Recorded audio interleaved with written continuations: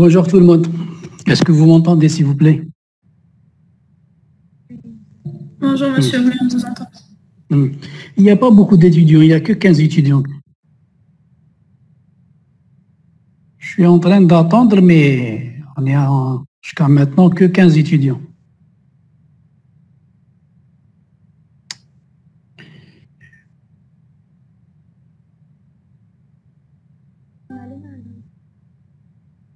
Vous, avez eu un cours ce matin Oui, monsieur. Euh, oui, ils étaient, combien? Euh, C'est 20 ou la 25. Pourquoi? Qu'est-ce qui arrive? Maintenant, on est presque à la fin. J'arrive pas à comprendre la situation. On va commencer, on ne peut rien faire? Monsieur, monsieur quels les, le, les enregistrements taille courte? Normal eh, d'accord, monsieur Mouchkel, ok, d'accord. On va commencer pour... Euh, d'accord. Donc, on va commencer.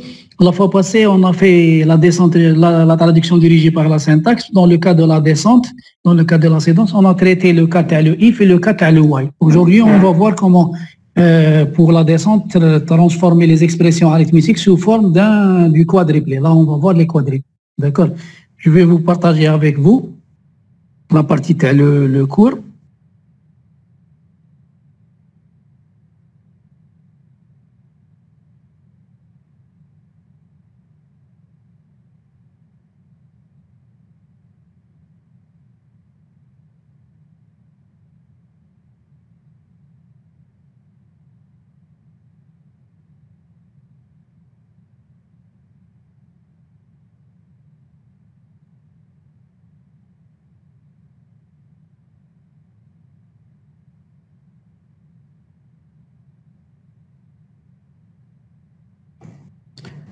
Donc là, on va voir aujourd'hui le cas des expressions arithmétiques. Donc on a au départ une grammaire des expressions arithmétiques. Vous voyez là, la grammaire n'est pas ambiguë, puisque si elle est ambiguë, on ne peut pas faire une analyse descendante, soit la descente récursive ou la, une analyse LL1, d'accord Et en plus de ça, ils ont pris comment elle est l'associativité là, pour la grammaire ils ont pris l'associativité de droite à gauche, et l'ordre de priorité, le, plus et le moins prioritaire que la multiplication, d'accord? Qui est moins prioritaire que les parenthèses ouvrantes et fermantes, d'accord? Et donc là, ils ont pris par, on remarque quoi que l'associativité se fait de droite à gauche, d'accord? Pourquoi ils ont pris cette grammaire? Pour qu'ils puissent vérifier les conditions LL1. Puisque si on a pris la récursivité à gauche, la grammaire ne serait pas LL1, d'accord? Mais le problème qui se pose maintenant, dans le cas de, notre analyseur, l'analyseur syntaxique, il marche de gauche à droite. D'accord? Quand on va faire une analyse d'une chaîne, on va analyser la chaîne de gauche à droite. On doit reconnaître d'abord les éléments qui se trouvent la partie gauche pour passer dans le cas les éléments qui se trouvent la partie droite. D'accord?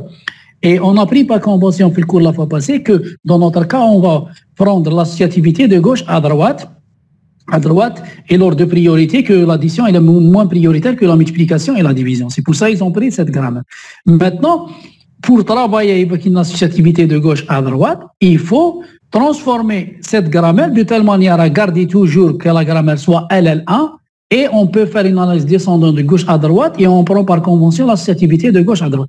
Comment ils ont fait? Ils ont, ils ont eu euh, une une assise de, transformation de cette grammaire de telle manière à garder que la grammaire elle est LL1 et en même temps de générer l'associativité de gauche à droite. Vous voyez tout à fait en bas, on peut donc transformer afin de garder l'associativité de gauche à droite de la façon suivante. Ils ont trouvé quelle est l'astuce, c'est de mettre E, ils vous donnent T, et par la suite, pour garder l'associativité de gauche à droite, ils vont faire un plus T à la puissance étoile. Donc F, il va vous donner T, puisque F, il, peut vous donner F, il, E, il, peut vous donner directement T, ou là, il peut vous donner l'addition. Et pour faire l'associativité de gauche à droite, ils ont pris plus t à la puissance étoile. Donc, soit plus t à la puissance étoile, il va vous donner 0, donc on peut générer le t wahdou, soit il va générer t plus t plusieurs fois, t plus t, on fait l'associativité t plus t, on additionne, et par la suite, le résultat plus t, il va être additionné jusqu'à arriver à la fin. D'accord? Donc, ils ont trouvé une assise de telle manière à garder que la grammaire soit LL1 et de telle manière à prendre l'associativité de gauche à droite. D'accord? Est-ce que c'est bon jusqu'à maintenant?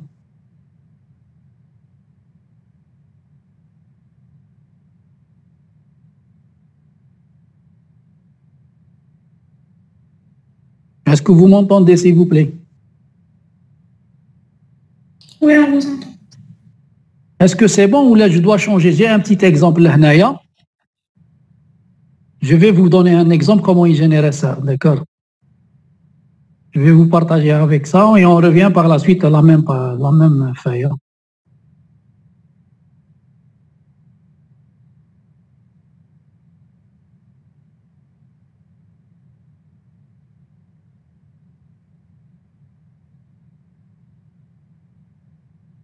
Est-ce que vous voyez la page, Hadia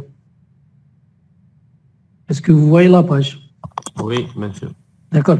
Donc, on a pris l'exemple, la chaîne I plus I plus I. Si on prend l'associativité de gauche à droite, on va prendre I plus I. Le premier, le, premier plus, il va être additionné pour additionner le I, le, le, troisième I. D'accord? Pour prendre ça. Si on prend la grammaire transformée, donc on aura quoi?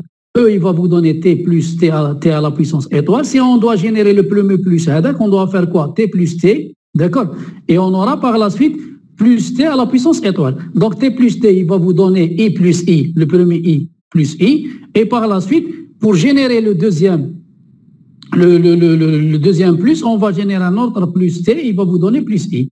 Ça veut dire quoi? Donc, on, a, donc vous, vous remarquez qu'ils ont fait quoi? Donc, dans la réalité, ils ont pris que la grammaire, elle reste toujours LL1 et générer l'associativité de gauche à droite. Vous voyez ça, l'exemple. Est-ce que c'est bon maintenant? Comment il génère l'addition? Dans le cas, vous avez une addition plusieurs fois. Est-ce que c'est bon? Oui, monsieur, c'est bon. D'accord.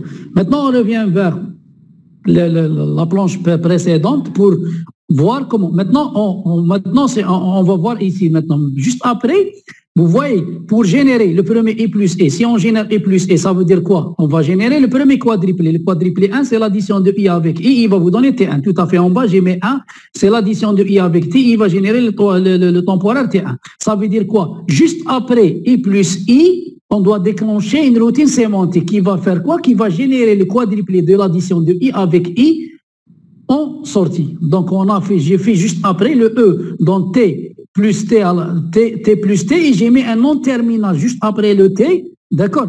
Pour à chaque fois quand on aura un plus T, on, on, déclenche une routine sémantique. Donc ça veut dire quoi? On aura T plus E et on aura grand A juste après T plus T. Ça veut dire quoi? On va avoir I plus I. Dès qu'on aura I plus I, on va générer, on va déclencher la routine grand A, elle va faire quoi Elle va générer le quadruplé, l'addition de I avec I, et il va être dans le temporaire T1. Ou on aura le deuxième plus, ça, il va être généré par, plus T A à la puissance étoile. Donc on aura le premier, vous donne T, plus I, plus I, on déclenche après le, deuxième plus avec le i, on déclenche un autre non terminal grand A qui va faire la création du temporaire, qui va faire l'addition du temporaire T1 avec i, il va vous donner le temporaire T2. Ça veut dire quoi? Juste après chaque plus T, on va déclencher une routine qui va faire pour le as qui va faire la génération du quadruplé à l'addition, et on aura la même chose pour la multiplication. C'est le même cas pour la multiplication. Justement, la multiplication, on va déclencher une routine sémantique qui va générer le quadruplé de la multiplication. Est-ce que c'est bon jusqu'à maintenant?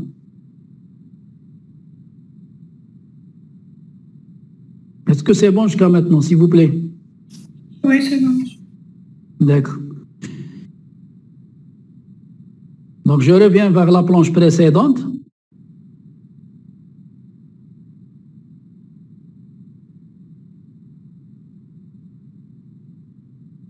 Donc là, j'ai mis juste après avec la grammaire que j'ai transformé l'insertion, l'insertion des routines sémantiques, l'insertion des procédures. D'accord? On avait quoi? Vous voyez, plus T, on a, on a déclenché la routine grand A, c'est pour l'addition et on a déclenché euh, multiplication F, on a déclenché la routine B, c'est pour la multiplication. Donc on a donc on a ajouté deux noms terminaux dérivés par epsilon. Vous voyez, c'est des noms terminaux qui n'appartiennent pas au langage. C'est pour ça j'ai mis les noms terminaux à deux contre inférieur et supérieur. Parce que c'est des noms terminaux qui n'appartiennent pas à l'ensemble 1 des noms, des terminaux de la grammaire de départ, pour ne pas chevaucher l'analyseur syntaxique. Donc on a rajouté deux noms terminaux, grand A dans epsilon, grand B dans epsilon. Quand on déclenche grand A dans epsilon, il va faire la création as le quadruplé, as l'addition, et grand P, dérivé par epsilon, il va générer la création, as le quadruplé de la multiplication de, deux opérants. Est-ce que c'est bon jusqu'à maintenant?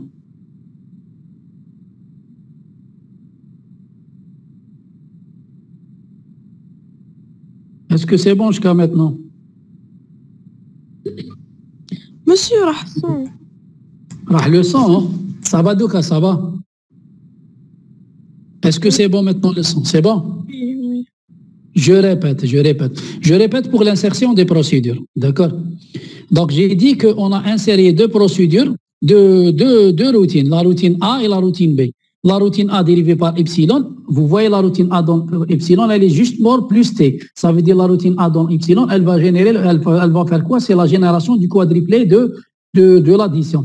Et le B dérivé par epsilon, c'est on déclenche la routine qui va faire, on va faire des vérifications, la compatibilité des types et des trucs à deux, qu'on va faire tout ça par la suite quand on va écrire les routines sémantiques. Il faut comprendre pour la routine A dans epsilon, c'est la création de la quadruplé de l'addition.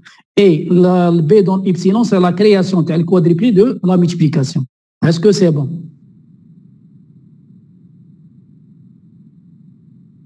Est-ce que vous m'entendez, s'il vous plaît? Oui. C'est bon jusqu'à maintenant. Est-ce que c'est bon pour tout le monde? Oui, monsieur. Est-ce que c'est bon? Est-ce que le son, il est bon? Je vous entends pas. Il y a un problème de son.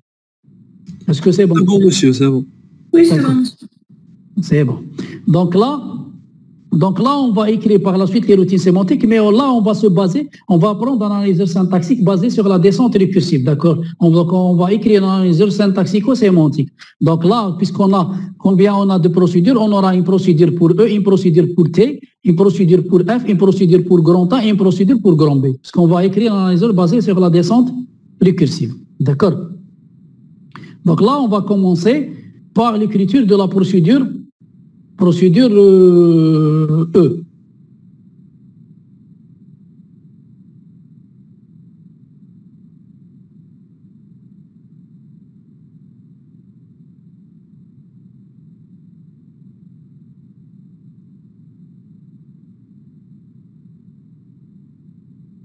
Non. C'est pas ça.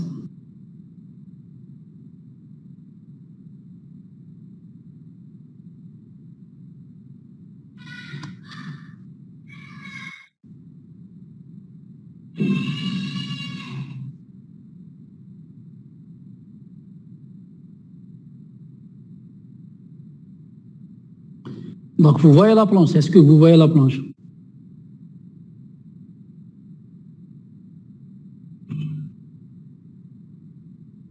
Est-ce que vous voyez la planche, s'il vous plaît? Est-ce que vous m'entendez? Oui, oui, on va la planche. D'accord. Donc, on va écrire un analyseur syntaxico-sémantique basé sur la descente récursive. Donc, on va écrire pour chaque euh, nom terminal une procédure. Donc, le nom terminal E, vous voyez le nom terminal E, il vous donne T. Entre accolade, vous avez plus T, A à la puissance étoile. Donc, soit vous avez un T, ou là, vous avez plusieurs T plus T, A plus T, T plus T, A plus T, A jusqu'à arriver à 1. Donc là, on a fait quoi? C'est une procédure, on a en entrée-sortie X, c'est une entité, Y, le type. Donc, on aura en sortie, en entrée-sortie, le X en entité et le, le- une opérante et le type de l'opérante. D'accord? Donc, on aura en sortie en entrée-sortie le, le, le, nom de l'opérante et le type de l'opérante. Et à l'intérieur, on va utiliser, on va utiliser deux opérantes, c'est des déclarations locales. D'accord? Donc, on va utiliser opérante 1, opérante 2, c'est des entités. Et pour chaque opérante, on a type 1, type 2, c'est le type de chaque opérante. D'accord? Est-ce que c'est bon jusqu'à maintenant?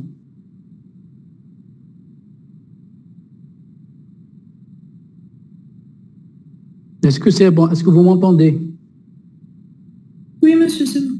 D'accord. Et maintenant, on a dit que pour le cas les procédures, quand on écrit une procédure pour un nom terminal, on traite les MDP. Le MDP, on a un seul MDP qui est formé de T. Entre accolade à la puissance étoile, vous avez plus T grand A. D'accord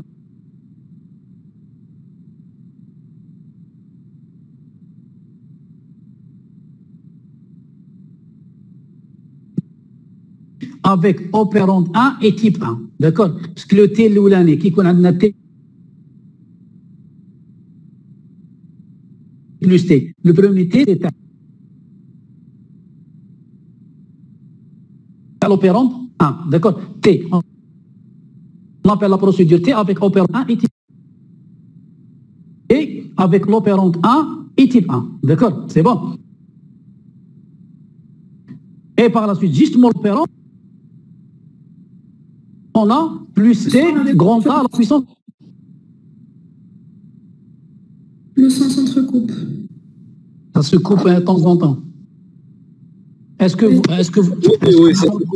vous, pouvez répéter T opérande 1 type 1 ah, D'accord, d'accord, d'accord. Je vais répéter.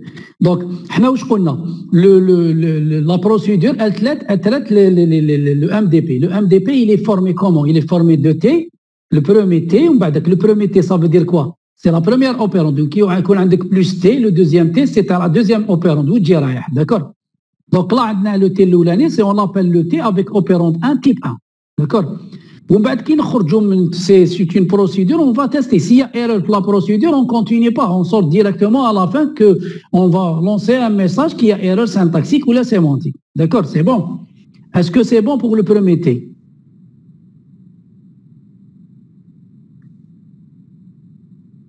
Est-ce que c'est bon pour T C'est bon? On va avoir un temps que parce que vous, vous voyez que entre accolade, on a plus T, plus T grand A plusieurs fois, soit zéro fois ou là, une fois. D'accord? On ne connaît pas le nombre hadak. D'accord? Donc c'est pour ça on a que T il est égal à plus, on va faire quoi? On avance, un, on a T égal à plus, on avance et on va trou trouver mort T. On va trouver le, deuxième T, ça correspond à la deuxième opérante. On appelle la même chose le, la procédure T avec opérant 2 type 2, d'accord, tu as la deuxième opérant, d'accord. Et si par la suite on sort de la, la, procédure type A, erreur, on va bloquer l'analyseur syntaxico-sémantique. Il y a une erreur sémantique ou là, une erreur syntaxique. On sort et on lance le message, d'accord. À la fin, quand on, on fait plus T, justement là, avec grand A. Grand A, c'est quoi? C'est une routine qu'elle va être déclenchée pour créer le quadruplé de l'addition de, temp- de l'opérant 1 avec l'opérant 2, le résultat, il est dans, dans le temporel. D'accord? Donc, on lui donne quoi la, procédure A? On lui donne l'opérant 1 avec le type 1 tel l'opérant et l'opérant 2 avec le type 1 et le type 2 tel l'opérant 2. Alors, quand on rentre la procédure, on va voir par la suite la procédure A, elle va tester la compatibilité des types type 1 et type 2 et elle va créer le quadruplet de l'addition de l'op- l'opérant 1 avec l'opérant 2. D'accord? Fait, fait, faire fait tant qu'on a des plus TA, plus TA, plus TA, on va continuer à l'intérieur de tant que. À la sortie, à la sortie, à la fin de tant que, on va mettre en sortie l'opérande 1 et type 1. L'opérande, dans X, il va euh, mettre en sortie une opérande et le type de l'opérande. Ça veut dire le résultat et le type de le résultat. Est-ce que c'est bon pour la procédure E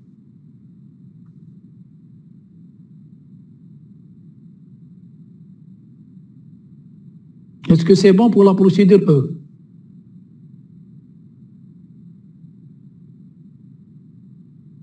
Je ne pas comprendre. Bouche ma femme. Y à la sortie. Y à la sortie? Ah, à la sortie. Qui calcule Qui calcule hein, A plus B plus C? Le E, il vous donne A plus B plus C. À la fin, où je te mets le résultat A plus B plus C. L'expression complète, elle sera dans l'opérant 1 et le type 1. On va voir par la suite le retour quand on calcule le quadriplet, le, la procédure A, quand on calcule la... la, la Donc A, elle va mettre à jour l'opérant 1. A, elle va mettre l'opérant 1 et le type A. On va voir par la suite quand on va construire la procédure A. C'est en sortie, puisque la procédure A, a deux entrées, mais on dit comme en entrée sortie, opérant 1 et type 1. مع الاخر تعاود ترد لك لو ريزولتا تاع ال- la construction تاع الكوادريبلي لو temporaire هذاك dans l'opérante 1 et le type 1. Est-ce que c'est bon Est-ce que c'est bon Oui, monsieur, c'est bon. ولازم puisque vous remarquez هنا déjà quand, quand, quand on revient في tant que on, se- on, on trouve T plus T grand A وين نعاودوا نحطوا لو ريزولتا نحطوهم في لوبيرون 1 تيب 1 بس كي نعاودوا نريكيبيريو من بعدك لو دوزيام تي اللي نعاودوا نديكلونشيوه هي اللي ريكيبير اوبيرون 2 تيب 2 à chaque fois il faut garder le résultat dans l'opérant 1 type 1 parce que كي نديرو tant que plusieurs fois on récupère toujours l'opérant 2 et l'opérant 1 l'opérant 1 elle est calculée et stockée dans l'opérant 1 et type 1 est-ce que c'est bon Est-ce que c'est bon pour tout le monde Sinon, on écrase la, la, la, la sortie. qui déroule, qui déclenche la procédure grand A, l'opérant 1, l'opérant 2, elle calcule et le résultat, bah, l'opérant 1 et le type 1, bah, la boucle tant que, on appelle la procédure une deuxième fois TLT avec l'opérant 2 et le type 2. D'accord? Pour ne pas écraser les, les valeurs. Est-ce que c'est bon? Est-ce que c'est bon? Est-ce que c'est bon? Oui. D'accord. Et maintenant, c'est le même principe pour la procédure T. C'est le même principe pour la procédure T. Au lieu d'avoir l'addition, on va avoir la multiplication. Vous voyez, c'est la même routine, mais au lieu d'avoir la multiplication, on va avoir l'addition. La, Là-bas, on avait T plus T grand A. Là, on aura F fois F grand B. Donc, on récupère d'abord, quand on appelle le premier F, on récupère l'opérante E et le type 1. Et quand on fait un temps avec la multiplication à l'intérieur, on appelle le deuxième F avec l'opérant 2 et type 2. On appelle par la suite la procédure B avec l'opérant 1 et l'opérant 2 avec les, deux types TAO. À la fin, quand on sort les que Hadouma, on aura dans l'opérant 1 et le type 1 le résultat de l'expression. Ils seront donnés en sortie de X et de Y. Est-ce que c'est bon pour la multiplication et l'addition? Est-ce que c'est bon pour la multiplication et l'addition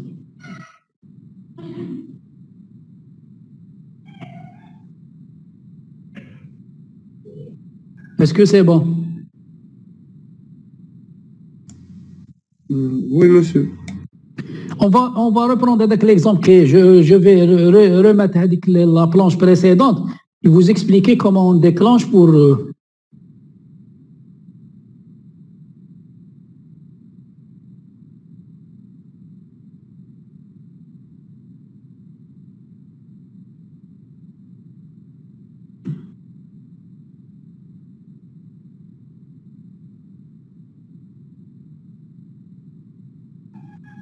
euh, j'ai pris un exemple, autre exemple, j'ai pris A plus B plus C plus D. D'accord? Vous voyez, l'exemple A plus B plus C plus D. Donc, on a pris l'associativité de gauche à droite, on doit additionner d'abord A plus B, additionner le C, additionner AD. D'accord? C'est bon Donc, le E, il va vous donner T plus T, A, A, A, étoile. Donc, le T, l'oulani, il va vous donner quoi? Quand on appelle la procédure T, on l'appelle avec la procédure T avec A et le type de A. D'accord On appelle la procédure T avec A et le type de A. Il va vous donner A. Par la suite, vous avez plus, on le temps que vous avez le plus avec l'année, on va trouver TA. Donc le, deuxième T, il va être appelé avec B et le type de B. D'accord Juste après, quand on la procédure D, elle fait le, traitement de le T donc, on appelle la procédure A. Vous voyez l'exemple On appelle la procédure A. On appelle la procédure A avec l'opérante A, qui est l'opérante de, le premier opérant c'est A et le type de A. Et la deuxième opérante c'est B et le type de B. Ça veut dire elle va faire quoi? Elle déclenche une routine sémantique qui va calculer le premier quadruplet à l'addition de A avec B. Et le résultat, il est dans T1. Ça veut dire quoi? Qu'on doit remettre dans l'opérante 1 le T1 et le type de T1. D'accord? On va faire quoi? J'ai mis entre parenthèses A plus B quand on déclenche le A, on a le temporaire T1. Juste après, on va avoir un autre plus T grand A. Un autre plus T grand A, il va faire quoi? L'addition le temporaire T1, j'ai mis, j'ai mis avec rouge, plus un autre T grand A. Le, le, troisième T, il va vous donner quoi? Il va vous donner, quand on l'appelle, on l'appelle avec C et le type de C. Puisqu'on va, quand on va revenir sur la boucle que on va trouver un autre plus on va euh, passer le plus avancé, on tombe sur un autre T, on l'appelle la procédure T avec C et le type de C. D'accord? Juste après, on trouve la procédure grand A. Quand on déclenche la procédure grand A, elle va faire quoi? Elle va générer le quadruplet à l'addition, le temporaire T1 avec C, il va vous donner le temporaire T2. Ça veut dire on va retourner le résultat, l'opérant 1 T2 et le type T2. Par la suite, on va avoir un autre plus T grand A à la puissance étoile. Donc, on va avoir un autre plus T grand A. Donc, T2 rouge plus T. Donc, quand il a la boucle, on va trouver un autre plus et on va trouver un autre T. Quand on appelle la procédure T avec la deuxième opérante qui est D et le type de D, juste Moraha, on va appeler la procédure grand A. La procédure grand A, elle va faire quoi? Elle va générer le quadruplet T, le plus T, T2 avec, T2 avec D, il va, être, il va vous donner le temporaire T3 et le type T3. Donc, on va avoir le résultat dans T3. À la fin, il n'y a plus de, plus, on sort. On va mettre quoi? Dans X, le T3 et dans Y, on le type T3. Est-ce que c'est bon Est-ce que c'est bon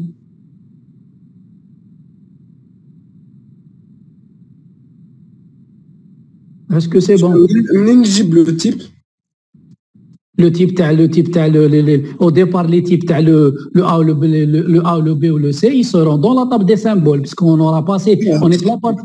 D'accord Les quadruples.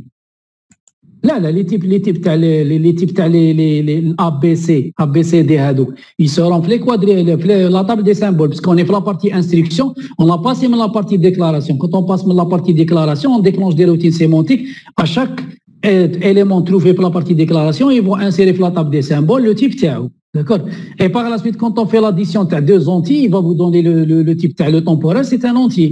D'accord Est-ce que c'est bon Oui. C'est bon. Mais que quand on additionne un entier avec un réel, on va prendre le plus grand, un entier avec un réel, parce y a des gens qui, qu'il y a des compilateurs qui autorisent la compatibilité des types quand on a, euh, il autorise l'addition d'un entier avec un réel. Donc, quand on additionne un entier avec un réel, le, résultat, le type, le résultat, ça, ça sera le plus grand. C'est le réel, c'est pas l'entier. L'entier, puisqu'il est, c'est une minorité, mais réel. Est-ce que c'est bon?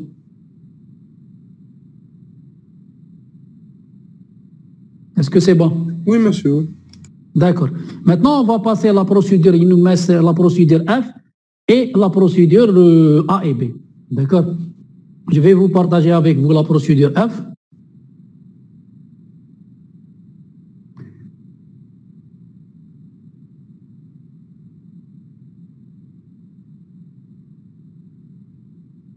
Donc là, on a la procédure F, mais maintenant la procédure F, elle est construite de deux MDP. Le premier MDP ID et, la deuxième le deuxième MDP, c'est parenthèse ouvrante E, parenthèse fermante. D'accord?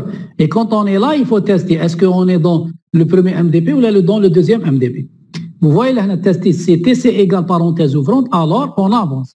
Sinon, si ce n'est pas parenthèse ouvrante, c'est IDF. On va faire par la suite voir le sinon. On va continuer d'abord alors. Si c'est TC égale parenthèse ouvrante, on avance. Et par la suite, quand on avance, on va trouver quoi? On va trouver un nom terminal grand E. On appelle grand E avec les entrées sorties TAO, c'est XY. D'accord?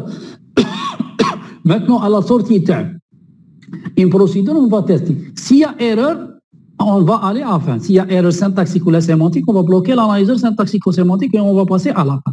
S'il n'y a pas d'erreur, puisqu'on est sorti le E, justement le E, on doit trouver la parenthèse fermante. Si TC égale parenthèse fermante, alors on avance et on sort. Si maintenant TC n'est pas égal à parenthèse fermante, on va mettre l'erreur après. Parce qu'il y a, on attend parenthèse ouvrante après le E, il n'y a pas de parenthèse ouvrante, donc il y a erreur syntaxique. Est-ce que c'est bon pour le alors, pour attaquer par la suite le sinon? Est-ce que c'est bon pour le alors, le F? Est-ce que c'est bon?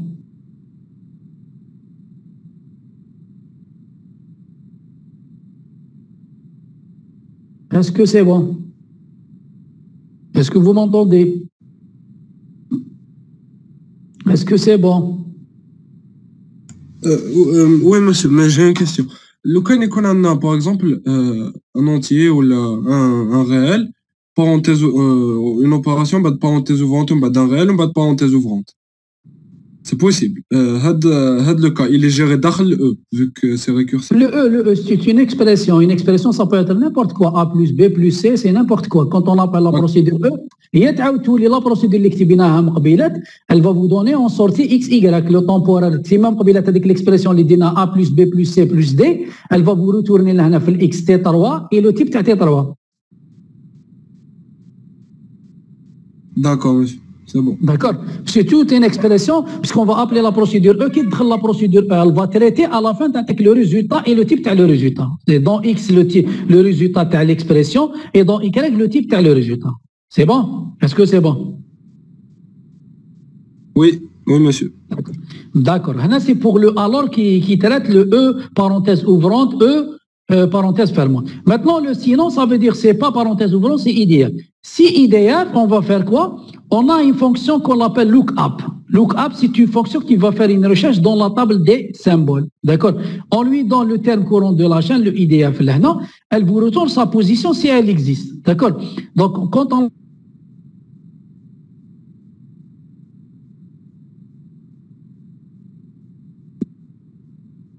elle va vous retourner sa position dans la table des symboles si elle existe. Si elle n'existe pas,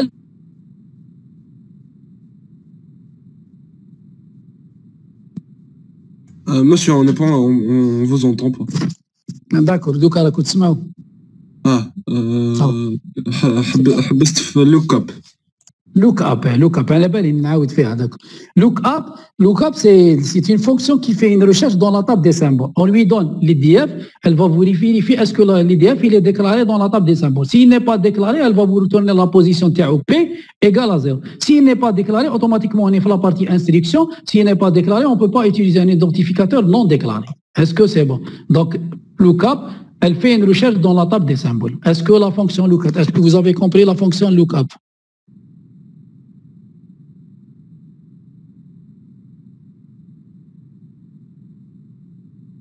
Oui, monsieur. D'accord. Maintenant, donc, on lance la fonction lookup. Si maintenant P est différent de 0, maintenant, elle a trouvé le IDF dans la table des symboles. Maintenant, on a utilisé un IDF déclaré. Donc, on va faire quoi? On récupère dans X, on va mettre P.nom, on récupère le nom dans X, et dans Y, on va récupérer le, le type de Y. P.type, il va vous donner la table des symboles le type de et ah on avance dans la chaîne. Maintenant, si P égale à 0, ça veut dire que l'IDF qu'on a la partie instruction, il n'est pas déclaré. Si il n'est pas déclaré, on va déclencher, on va mettre l'erreur à vrai, on va dire que IDF, il est non déclaré. C'est un IDF utilisé, utilisé, il est correct syntaxiquement, mais dans le cas tel problème sémantiquement, il est fausse, puisqu'on ne peut pas utiliser un IDF non déclaré. Est-ce que c'est bon?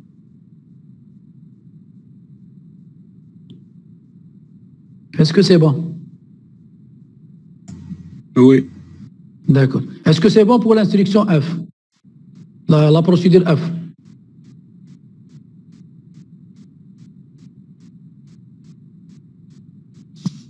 Oui. Monsieur, Oui. هذيك لوك اب كي يكون ديكلاري هذاك لو بي ترتورني لنا اون فالور ديفيرون دو زيرو هكا Bien sûr, ça, elle va vous retourner sa position dans la table des symboles. C'est c'est la position. S'il existe, sa position, elle existe sur la table des symboles. Elle va vous retourner la position. C'est pour ça, بعد واش درت X, je lui affecte la position point nom, et Y, je lui affronte la position P point type. Je récupère le nom et le type de la table des symboles. Est-ce que c'est bon? Ok, monsieur, merci. Si elle vous retourne 0, parce que P est au départ déclaré 0. La 0 à la fin, quand on fait une recherche, ça veut dire lookup, lookup, la fonction lookup n'a pas trouvé le IDF dans la table des symboles. Si elle n'a pas trouvé IDF dans la table des symboles, donc les, on a utilisé un IDF non déclaré. C'est une erreur sémantique. Est-ce que c'est bon? D'accord. Maintenant, il nous reste deux procédures, la procédure grand A et la procédure grand B. D'accord La procédure grand A, c'est une procédure qui fait quoi? Qui génère le quadruplette à l'addition et la, grosse- la procédure grand B qui génère le quadruplette à la multiplication. Donc, on lui donne la procédure grand A euh, précédemment quand on a, on lui donne deux opérants les types les opérants. Elle va faire quoi? Elle vérifie la j'ai mis que vérification compatibilité des types des deux opérants. Donc, on ne peut pas additionner deux, deux, deux, un booléen avec un entier. Donc, il doit vérifier la compatibilité des types. Par la suite, on appelle une fonction qu'on appelle créer tampon pour générer les. J'ai dit, le cours la fois passée, qu'on doit avoir un générateur de, des temporaires pour ne pas charger la, la, la, la, la- mémoire, le, le micro. D'accord? Donc, on appelle la fonction créer tampon, puisqu'on aura besoin par la suite. On génère l'addition, le quadruplet à l'addition à l'opérant 1 avec l'opérant 2. Le résultat, il est dans le temporaire créé R. Et par la suite, on appelle une fonction de calcul de type, les deux opérandes, on lui donne deux, deux types, le type 1 et le type 2, une fonction calcul type, on lui donne deux types, elle vous donne le type, le résultat. D'accord? Si on lui donne deux entiers, elle va vous donner deux entiers. Si on lui donne un entier avec un réel, il va vous donner le réel, puisqu'elle va vous donner toujours le plus grand. D'accord? Et est-ce que c'est bon jusqu'à maintenant? Maintenant, on va écrire la procédure. Est-ce que c'est bon? Procédure A, la procédure A. Est-ce que c'est bon? Est-ce que c'est bon?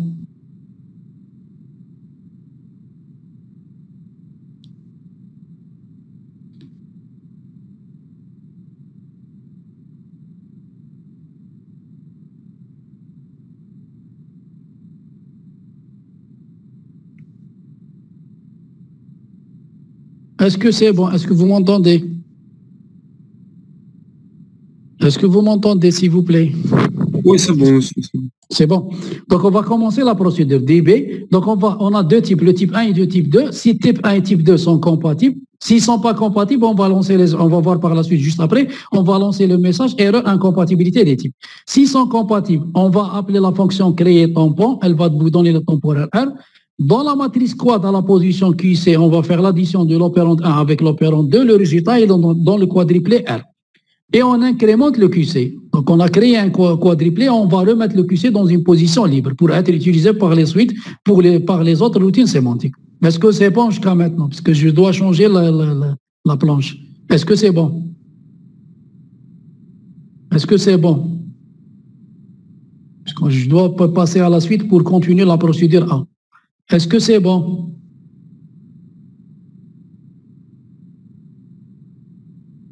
Est-ce que c'est bon, s'il vous plaît? Oui, monsieur. c'est bon. D'accord. On va passer maintenant la suite à la procédure A.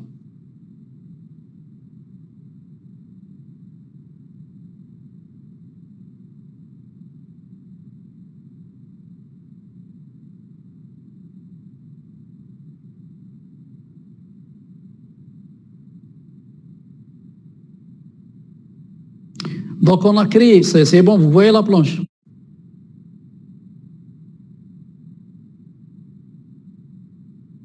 Est-ce que vous voyez la planche? C'est bon? Est-ce que c'est bon? Oui, on arrive à voir la planche.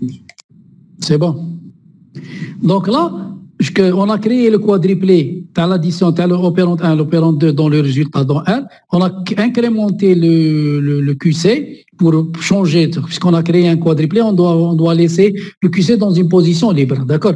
Maintenant, on appelle la fonction calcul type, on lui donne le type à l'opérante 1 et le type à l'opérante 2, il va vous donner le type à le résultat, R type. Et par la suite, on va remettre dans l'opérante 1, dans l'opérante 1, le R et le type R. Sinon, vous voyez, s'ils ne sont pas compatibles, il y a erreur, incompatibilité des types. Est-ce que c'est bon? Est-ce que c'est bon?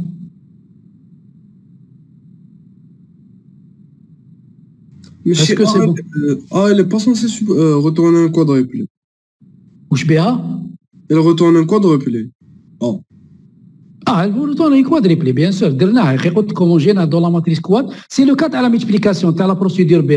Tu la procédure B, c'est la même chose que la procédure euh, addition. Donc, elle génère un quadruplé à la multiplication. Tu as l'opérant 1 avec l'opérant 2. Elle génère un quadruplé. Dans la matrice, tu as les. Le résultat, il est dans R. D'accord? C'est ça l'objectif A. Elle va générer l'addition, le quadruplé, tu as l'addition, tu as l'opérant 1 avec l'opérant 2. Le résultat, il est dans R. Est-ce que c'est bon? D'accord, d'accord, c'est bon, monsieur. c'est la même chose. Vous voyez la procédure B, c'est la même chose que la procédure A, mais on a la multiplication. On appelle, vous voyez, si type, de, type 1 et type 2 sont compatibles, alors on crée temporaire R, on crée un quadruplé QC. Tu as la multiplication, tu as l'opérant 1 avec l'opérant 2, le résultat il est dans R, le, quadruplé, le, le temporaire créé. On avance QC, on avance dans le QC pour sauter avec le QC qu'on a, créé qu- quadruplé, on peut remettre le QC dans une position libre. On appelle la fonction calcul type, type 1, type 2, le résultat il est dans R type.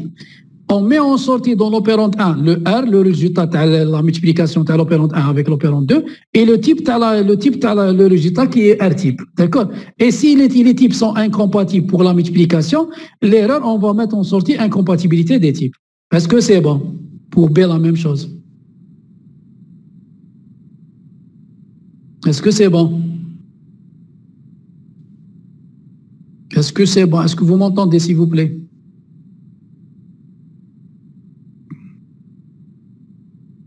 Est-ce que vous m'entendez?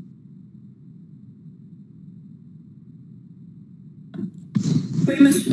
Oui, oui, C'est bon C'est bon oui. Est-ce que est-ce c'est bon pour la procédure B? La procédure B, la procédure A, c'est la même chose.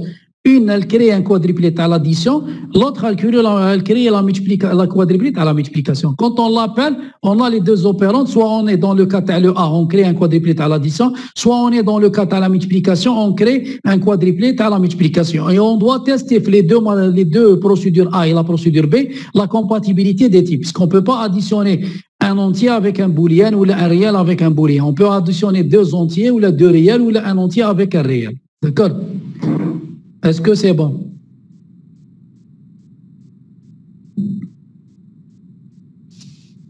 Est-ce que c'est bon? D'accord. Ok, c'est bon. Donc là, la fonction calculée type, monsieur, est-ce que on l'utilise on suppose qu'elle est faite, mais en réalité, on doit l'écrire, hein, ah, bien, sûr, bien sûr. Même créer la fonction créer tampon, dans le cas qui, définit un compilateur TAC, créer la fonction tampon, créer tampon et la fonction calcul type. C'est normal, on doit créer le corps à la procédure calcul type et le corps à la procédure créer tampon. Là, on suppose que créer tampon et calcul type, même lookup, la fonction lookup, on doit l'écrire. La fonction lookup, on doit l'écrire. Donc, on- quand on l'appelle, on suppose que les deux fonctions à deux, que ça existe. Les fonctions à deux, ça existe. C'est des petites procédures. hein. D'accord? Est-ce que c'est bon? D'accord. Pour le cours, pour ne pas s'attarder, ça ne rentre pas dans les détails, parce que c'est des détails, c'est des détails de programmation. Là, on rentre dans le principe de comprendre comment on déclenche, comment créer les quadruplés dans le cas des expressions arithmétiques et, ils font quoi les, routines sémantiques? C'est la vérification sémantique et en même temps traduire à chaque fois un fragment de code sous forme d'un code intermédiaire. Vous voyez, à chaque fois, on traduit une expression sous forme d'un code intermédiaire. À la fin de l'expression, on aura les quadruplés de l'expression. Et en même temps, une vérification, s'il y a des vérifications sémantiques à faire à l'intérieur de l'expression. Est-ce que c'est bon? Est-ce que c'est bon? Est-ce que c'est bon? Oui. Bien sûr, même euh, on ne peut pas additionner ou faire la multiplication de, de, de- de- d'un. Alors, Est-ce que vous pouvez additionner une chaîne avec euh, un entier ou un booléen avec...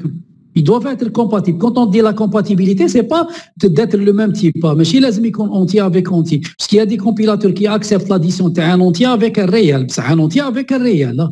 C'est pas un entier avec une chaîne ou un entier avec un booléen. non. D'accord? Là, on a, on a dit sont compatibles. Ça veut dire que l'entier, il peut rentrer avec un réel. Ou le réel, il peut rentrer avec un entier ou les deux entiers ou les deux réels. D'accord? C'est ça la notion de la compatibilité. Est-ce que c'est bon? Est-ce que vous avez d'autres, questions, s'il vous plaît? Est-ce que vous avez d'autres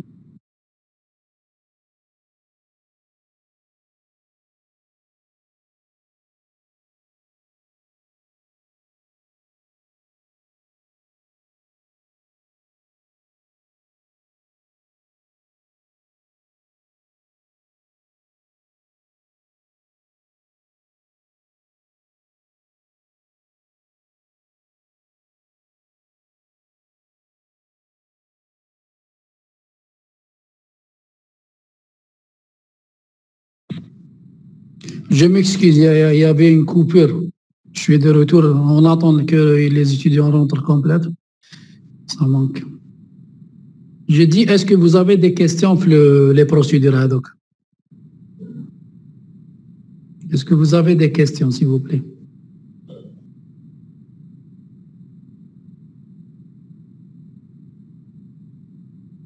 Est-ce que vous avez des questions, si vous voulez Est-ce que vous m'entendez?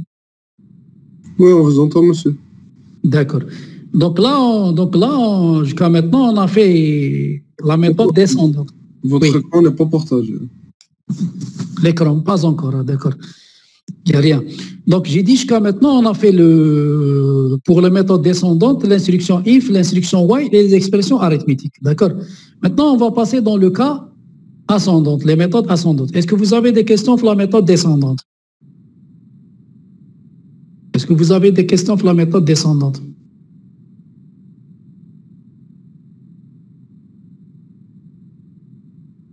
Donc, les méthodes descendantes ou la les méthodes ascendantes, on vous demande à chaque fois le schéma de traduction. J'ai dit la fois, la fois passée, le schéma de traduction, c'est un ensemble, il est formé du code intermédiaire, plus la grammaire sémantique, plus les routines sémantiques. L'ensemble complet, on l'appelle le schéma de traduction. D'accord?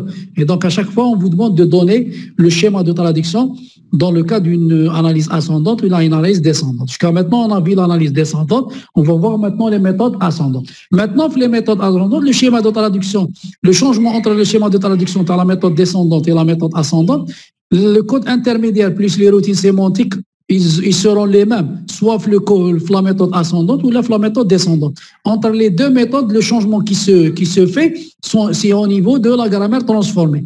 Dans le cas de la méthode descendante, on a vu jusqu'à maintenant, on ajoute des noms terminaux dérivés par epsilon qui déclenchent des routines sémantiques. D'accord Maintenant, la méthode ascendante, puisqu'on on est dans le cas de la méthode ascendante, on part de la chaîne, on atteint la chaîne la chaîne, la- l'action en faisant une série de réductions. Ça rentre les réductions. Donc, si on a besoin d'une routine sémantique, il faut la déclencher à la fin d'une routine, euh, d'une réduction pour ne pas chevaucher le, le, fonctionnement de l'analyseur syntaxique. Donc, si on a besoin d'une routine sémantique, il ne faut pas la déclencher au milieu d'une réduction. Donc, il faut la déclencher à la fin d'une réduction. D'accord? Est-ce que, est-ce que vous avez des problèmes?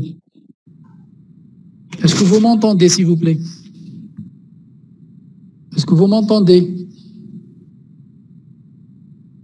Est-ce que vous m'entendez? Oui, monsieur. Oui, D'accord. monsieur. Donc là, on va commencer maintenant les méthodes descendantes. Donc, les méthodes descendantes, on va commencer par l'instruction. Une instruction, on va prendre l'instruction, je crois, l'instruction if. Et on va voir le, le cas à la méthode descendante.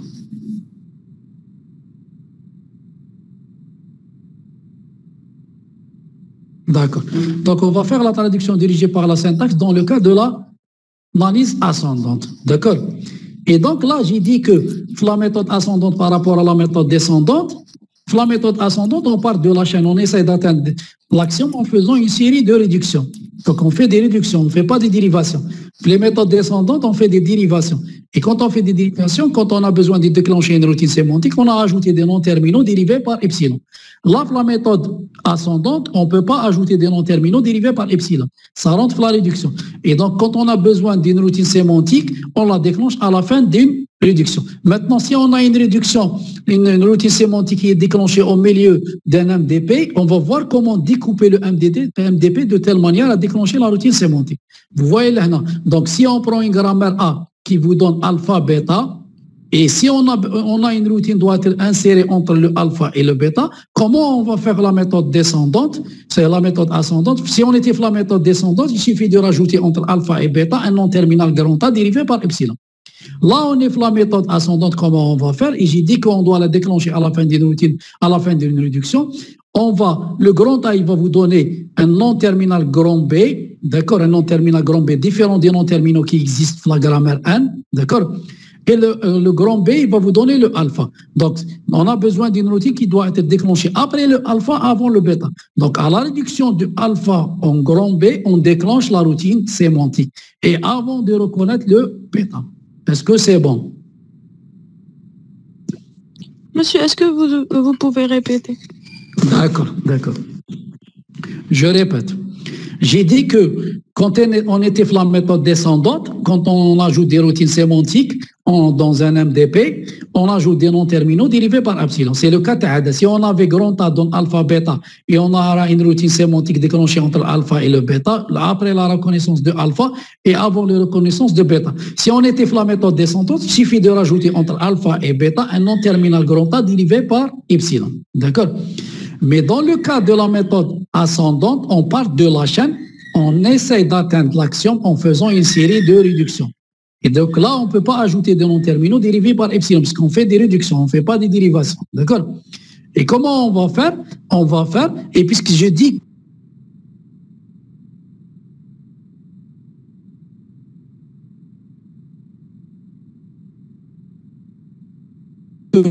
on ne peut pas déclencher la déclenche avant de faire la avant la fin de la réduction. Le son, il est bon comme ça. Est-ce que c'est bon? Monsieur, on verra ça, oui, vous Et de temps en temps, de temps en temps, il y a une coupure. Je vois que quand on a une coupure, il y a une D'accord, c'est bon. Donc, est-ce que c'est bon? J'ai dit que la méthode ascendante, on déclenche une routine sémantique à la fin d'une réduction. On ne peut pas la déclencher au milieu d'une réduction. Si on la déclenche au milieu d'une réduction, on va chevaucher l'analyseur syntaxique. Donc, si on a une réduction entre alpha et bêta, pour ne pas chevaucher le MDP alpha et bêta, on va faire quoi? On la déclenche à la fin de la réduction de alpha. Donc, on a fait quoi? A dans grand B bêta, et A, grand B donne alpha. Ça veut dire quand on va réduire alpha en grand B, on déclenche la routine sémantique. Et avant de réduire grand B, bêta en grand A. D'accord? Parce que la routine, elle doit être déclenchée après la reconnaissance de alpha et avant la reconnaissance de bêta. Est-ce que c'est bon?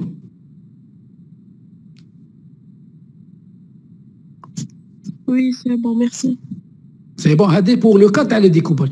Et j'ai dit avant ça que maintenant, les schémas de traduction entre les méthodes ascendantes et les méthodes descendantes, on aura le code intermédiaire, la méthode ascendante ou la, la méthode descendante, c'est le même. Et les routines sémantiques, c'est les mêmes routines sémantiques. Le, le, le changement entre les deux méthodes, c'est la grammaire transformée. La grammaire de la méthode descendante, on ajoute des noms terminaux dérivés par epsilon. La grammaire de la méthode ascendante, on fait la notion de découpage. On ajoute des noms terminaux qui va être réduit si on rentre dans la réduction. Est-ce que c'est bon?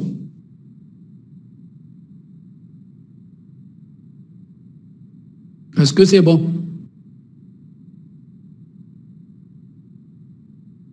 Est-ce que c'est bon? Monsieur, on a la routine sémantique B. Elle est, ah. elle est enclenchée avant alpha. La routine B, elle est déclenchée après la reconnaissance de alpha et avant la, reconnaissance de bêta. D'accord. Puisque vous voyez, il faut que le grand A donne alpha, bêta, et on a une routine doit être insérée entre alpha et le bêta.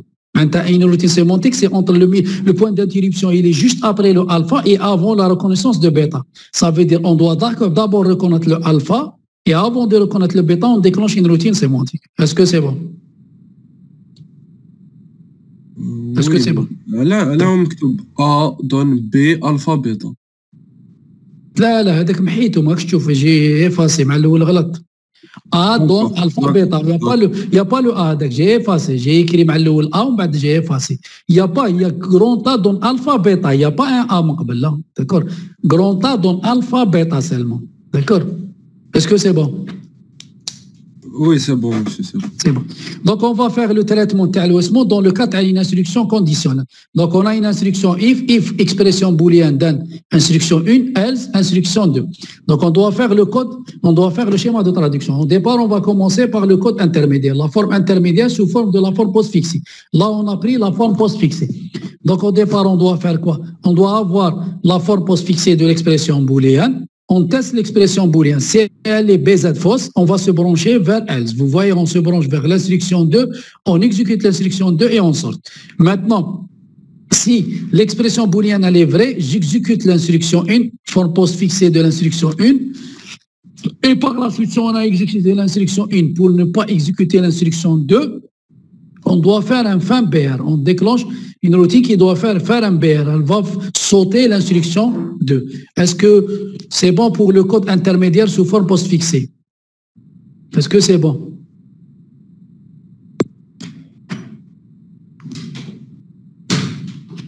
Est-ce que c'est bon?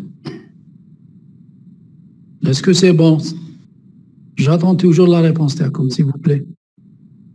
Oui, oui, monsieur, c'est bon. Est-ce que c'est bon pour tout le monde? Est-ce que c'est bon pour tout le monde?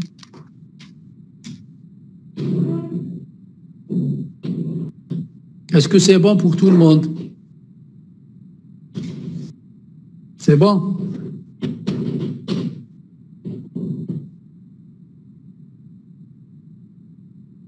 Est-ce que c'est bon pour tout le monde? J'attends votre réponse, s'il vous plaît. Est-ce que vous m'entendez? S'il vous plaît. Répondez, s'il vous plaît. Oui, là, c'est bon. C'est bon. Donc là, on va détecter le nombre de routines sémantiques et la position de la routine sémantique. Vous voyez, justement, l'expression booléenne, on doit faire le else BZ. Justement, l'instruction 1, 1, on doit faire un fin BR. Et à la fin de l'instruction 2, on, va faire, doit faire la mise à jour à la valeur de fin.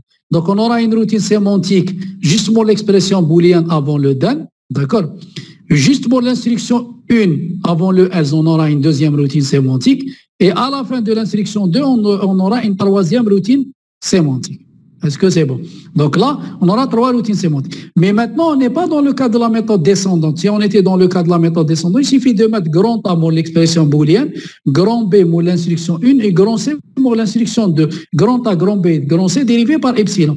Là, il y a deux interruptions qui sont à, au milieu de l'MDP. Wahda, pour l'expression booléenne qui est au milieu, et Wahda, pour le else qui est au milieu. La troisième, elle est juste après l'instruction 2, elle est à la fin, ça ne gêne pas. Il faut donc faire deux découpages, juste pour l'expression booléenne 1 et pour l'instruction 1, on, faut, on doit faire un découpage. Donc on aura quoi là donc, si on prend le, le cas ta'ana, quel est le alpha ta'ana, quel est le bêta? Le bêta, le bêta dans notre cas, c'est else, expression 2.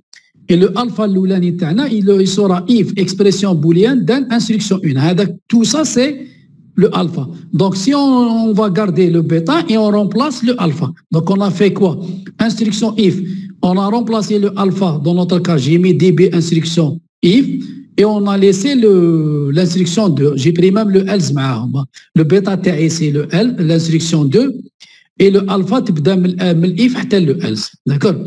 Maintenant, le alpha lui-même, le alpha lui-même, on a if expression boolean c'est le alpha ou instruction L, c'est le bêta, le deuxième bêta. Donc, on remplace le premier alpha. Donc, j'ai début, instruction if, il va vous donner début if, instruction in, else. Et par la suite, début if, il va vous donner if, expression booléenne. Est-ce que vous voyez qu'on a fait un découpage là -même. Hein?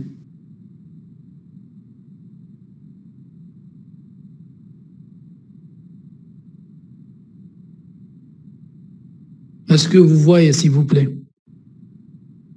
pour la grammaire transformée. Est-ce que vous m'entendez, s'il vous plaît? Oui, J'entends oui, oui, oui.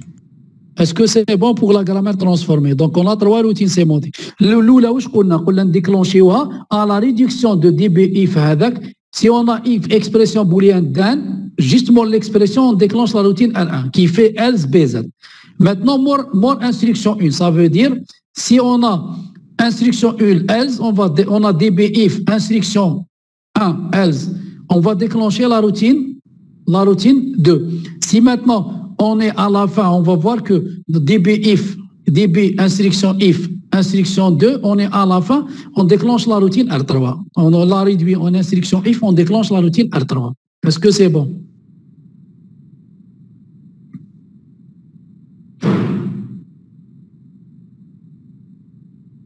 Est-ce que c'est bon? Est-ce que c'est bon? S'il vous plaît. Oui, c'est bon. C'est bon. Donc là, on va écrire les routines sémantiques. Avant d'écrire les routines sémantiques, là, il faut passer pour les quadruplés. On a dit qu'on va utiliser une matrice quad. Là, pour le vecteur, j'ai mis une remarque. On va utiliser un PF, c'est le vecteur de la forme postfixée. Et on va mettre le itana, c'est la première position libre dans PF. Ça va vous donner une position libre dans la fonction dans le vecteur PF. Donc PF, c'est un vecteur de la forme postfixée. Et le I va vous donner à chaque fois une position libre dans le vecteur PF. D'accord? Donc on va écrire la routine RL. La routine RL est déclenchée après l'expression booléenne. Donc on va générer quoi?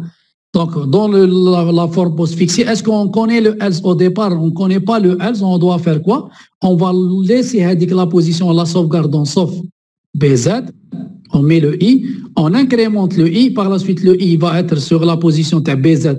On va mettre dans PA par la position I, on va mettre BZ, et on incrémente le I pour remettre le I dans une position libre. Ça veut dire on, va, on a généré else BZ, mais on ne connaît pas la valeur de else. On laisse la case vide, et pour ne pas perdre la case, on va la sauvegarder dans son BZ. D'accord? On fait un pointeur qui sauvegarde la position, la, la, la position dans son BZ, le I, pour mettre à jour par la suite quand on, quand, quand on connaît la valeur de else par sa valeur. Est-ce que c'est bon pour la routine 1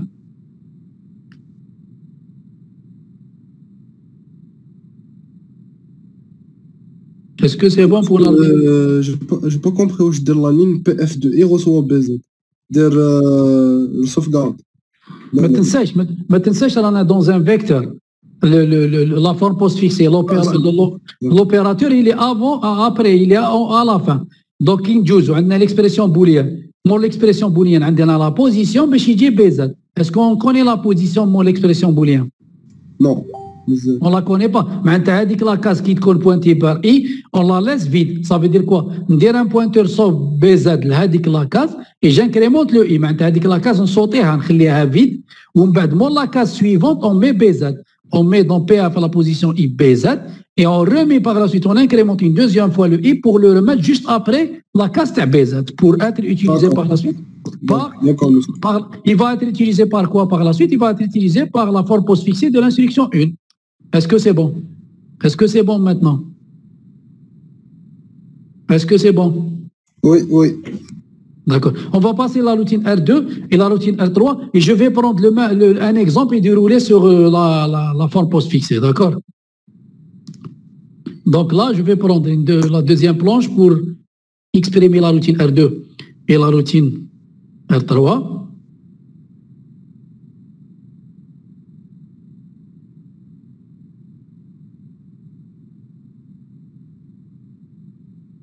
Ah, c'est pas ça.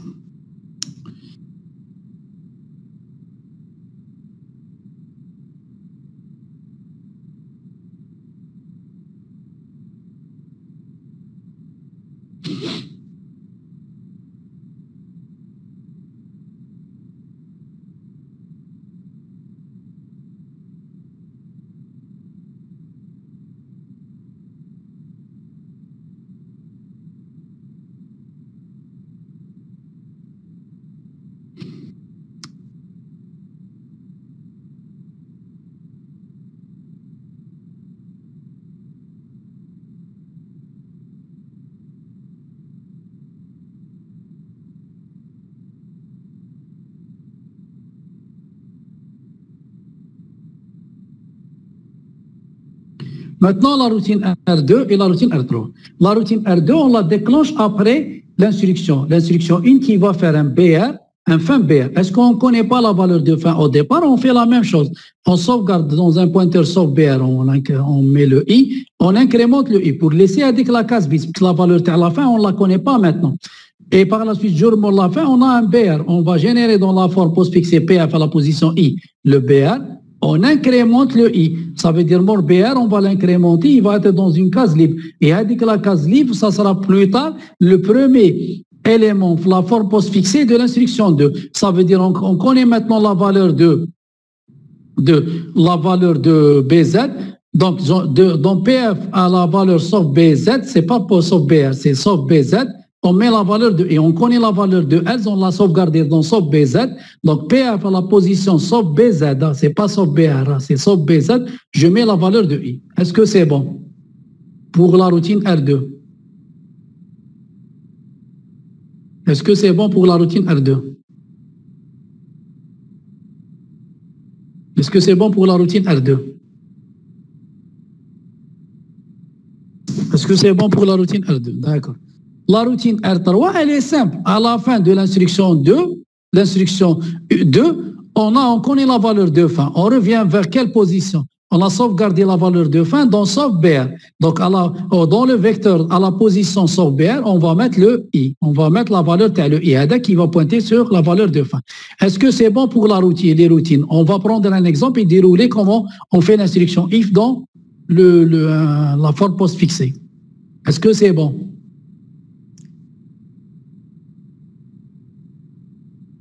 Est-ce que c'est bon Le BR monsieur وشنو هو؟ واش والله ما سمعتك BR BR ماشي زي- ماشي بي ار هذيك بي اف الاخرانيه كاع في الار دو سي بي اف صوب بي زاد ماشي بي ار صوب بي زاد جي يا اون ايرور دو فراب لهنايا صوب بي زاد اون روتيان اون مي لا ميز ا جور تاع لا فالور دو الز داكور في لا روتين 2 C'est pas BR, c'est BZ. Le BR, c'est dans la routine R3. Dans la routine R3, on fait la valeur, tu la valeur de fin. D'accord? Est-ce que c'est bon? Oui, oui, c'est bon. D'accord. Je vais vous partager, on va partager ensemble comment dérouler la procédure dans le cas des vecteurs forme post-fixée. Hein.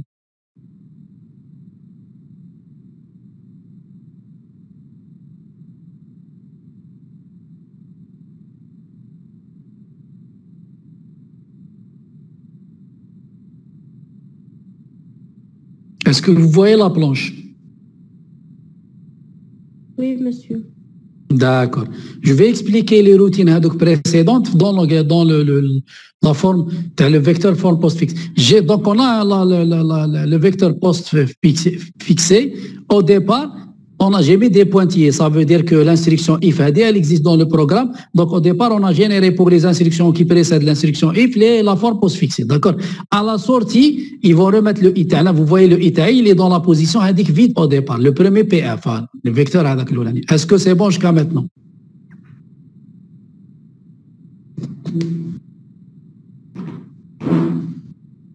Est-ce que c'est bon?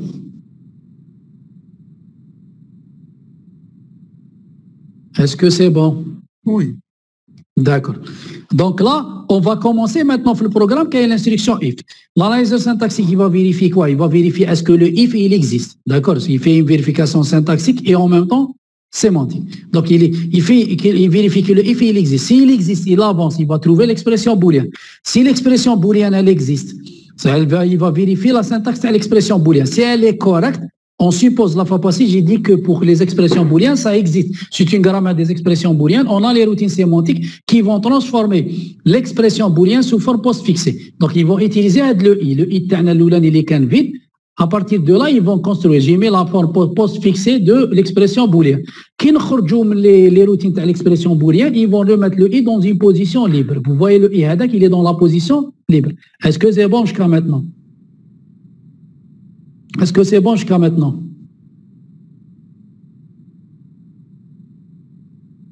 Est-ce que c'est bon?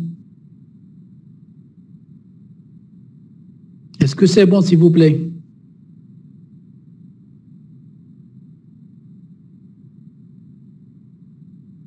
Est-ce que c'est bon? Est-ce que vous pouvez répéter, monsieur? Répétez, Naoud.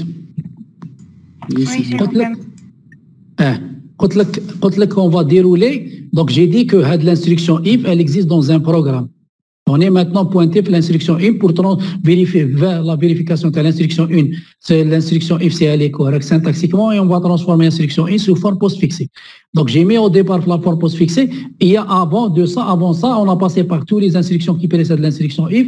Donc on, les a transformées, on a vérifié que la syntaxe est correcte et on a transformé les instructions qui précèdent l'instruction in sous forme post-fixée. J'ai mis des pointillés, mais je ne m'intéresse pas aux, instructions précédentes. Maintenant, je compte le i qu'il est dans une position libre. Maintenant, l'instruction if, ça veut dire qu'elle va être utilisée par la forme postfixée à l'expression booléenne. Donc, l'analyse de syntaxique, il va faire quoi? Il va faire une vérification syntaxico-sémantique. Donc, au départ, il va trouver que pour dire que l'instruction if, elle est correcte, il doit trouver le if S'il trouve le if, il avance. S'il ne va, va pas trouver le if, il va vous dire qu'il manque le mot-clé if. S'il y a le if, justement le if, il doit trouver l'expression booléenne. Donc il va trouver une expression, il va vérifier que la syntaxe l'expression booléenne, est correcte syntaxiquement. D'accord? Si elle est correcte syntaxiquement, et en même temps, il va traduire on et à mesure l'expression booléenne sous forme post-fixée. Donc là, j'ai mis la forme post-fixée de l'expression booléenne. À la sortie de la forme post-fixée de l'expression, j'ai dit que le itana hadak toujours dans, une case libre à la forme post-fixée. Ils doivent remettre les routines à l'expression booléenne qu'ils ont transformé l'expression booléenne sous forme post-fixée, ils doivent remettre le i dans une position libre. Donc ils l'ont mis, vous voyez, dans une position libre qui est le i hadak. Est-ce que c'est bon jusqu'à maintenant pour l'expression booléenne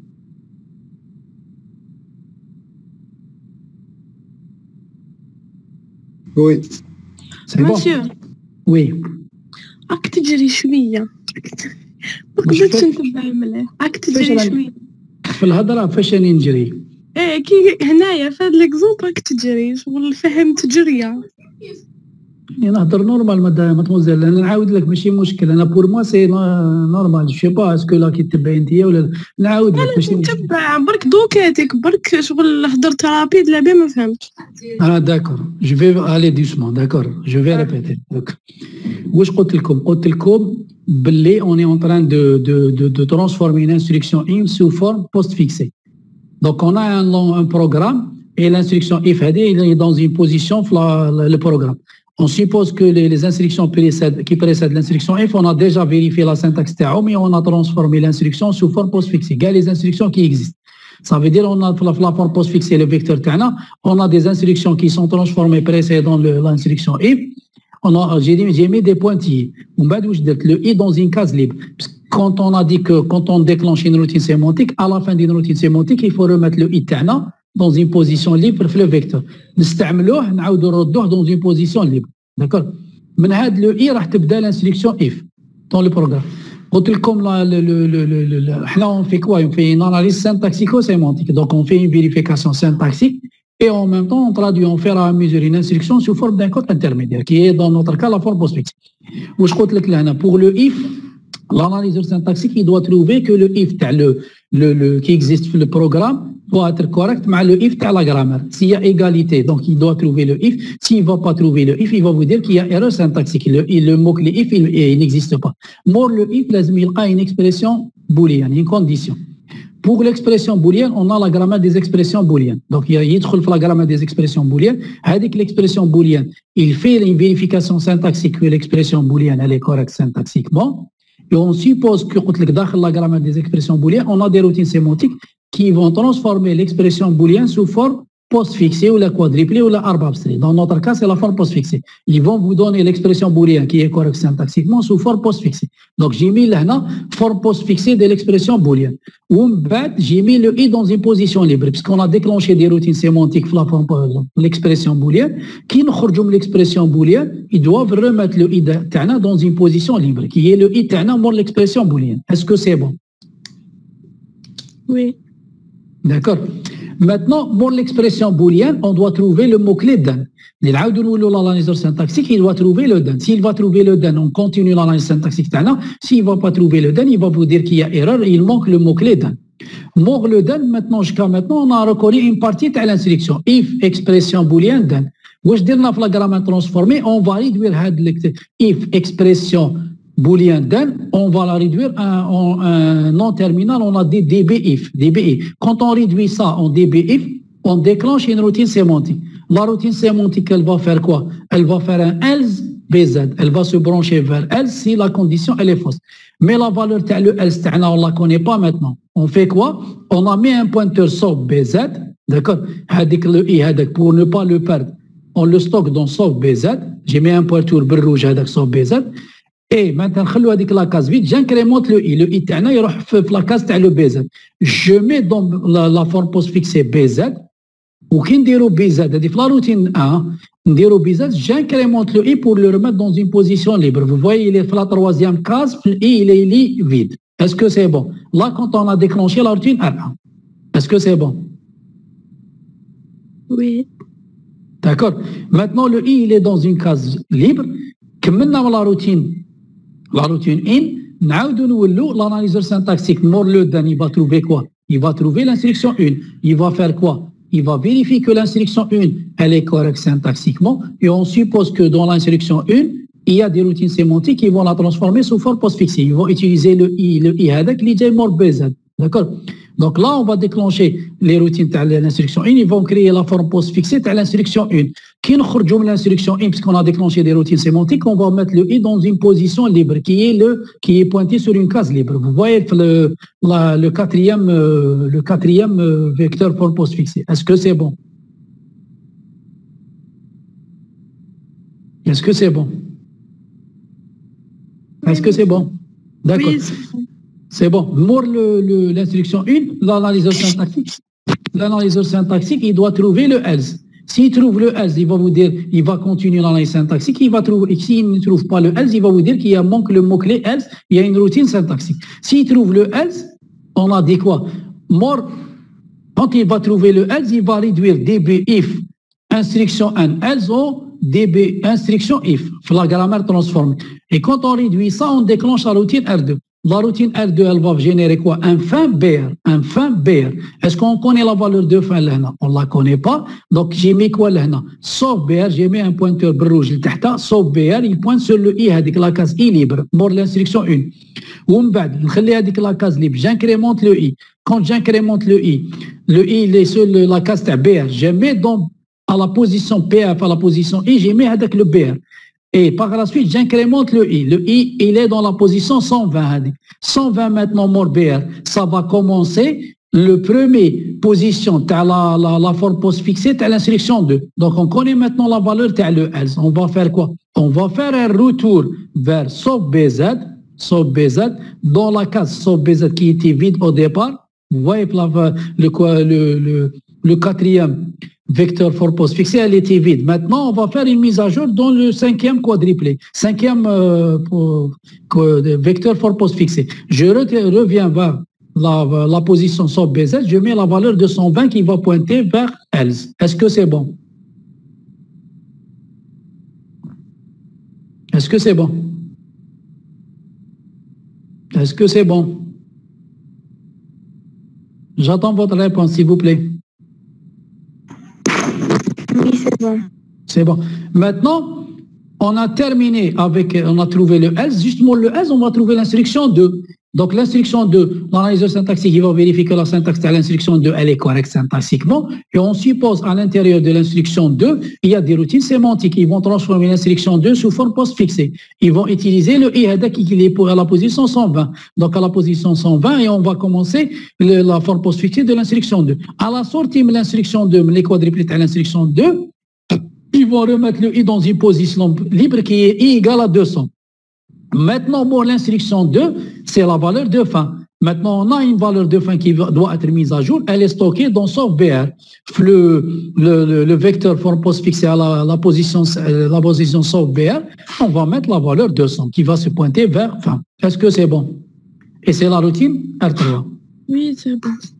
C'est bon le déroulement de les routines R1, R2, R3. Est-ce que c'est bon, s'il vous plaît? Est-ce que c'est bon?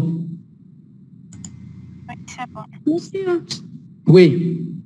Bien هذيك حتى نلحقوا ليها هذيك 200 باش نعمروها وين وين خلينا هذيك لو بيان سور صوبير اسكو كي نكونوا في صوبير وما نعرفوش لا اسكو كوني لا فالور 200 ما نعرفوهاش. داكو صح سي بور سا سي بور سا بور نو با بيرد هذاك لو إي ولا سوفغاردي دون صوبير وكي نلحقوا لا فالور تاع لا فان نعاودوا نولوا دون سوف بير نديروا 200 باش واش يدير مور l'instruction 1 et on va faire un saut vers 200 pour ne pas exécuter l'instruction 2 vous voyez كي نديروا كي نexécuter l'instruction 1 on fait un 200 200 BR maintenant on saute vers 200 pour ne pas exécuter l'instruction 2 d'accord داكور مسيو صح ولتحت ولتحت كي نتستيو l'expression boolean si elle est fausse on se branche vers 120 120 c'est L'instruction 2, vous voyez, c'est le premier que, euh, position de l'instruction 2. On exécute l'instruction 2 et on sort. Maintenant, si on ne fait pas un saut vers 120, on exécute l'instruction 1 et on fait un saut vers 200. Est-ce que c'est bon? Ouais, d'accord, monsieur, merci. Est-ce que c'est bon pour tout le monde? Est-ce que c'est bon pour tout le monde? Est-ce que c'est bon pour tout le monde? Oui, monsieur. Euh, C'est bon pour tout le monde S'il vous plaît. Est-ce que c'est bon pour tout le monde? D'accord, c'est bon Donc on va arrêter le cours à ce niveau. D'accord On va arrêter le cours. Est-ce que vous avez des questions pour le cours? Parce qu'on va commencer juste après le, la séance le, le TD. Est-ce que c'est bon pour tout le monde?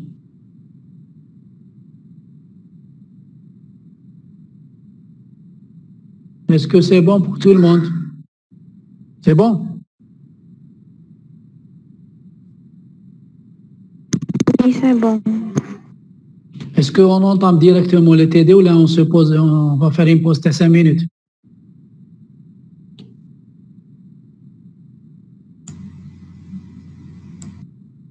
Est-ce que vous voulez une pause de 5 minutes ou là on fait directement le TD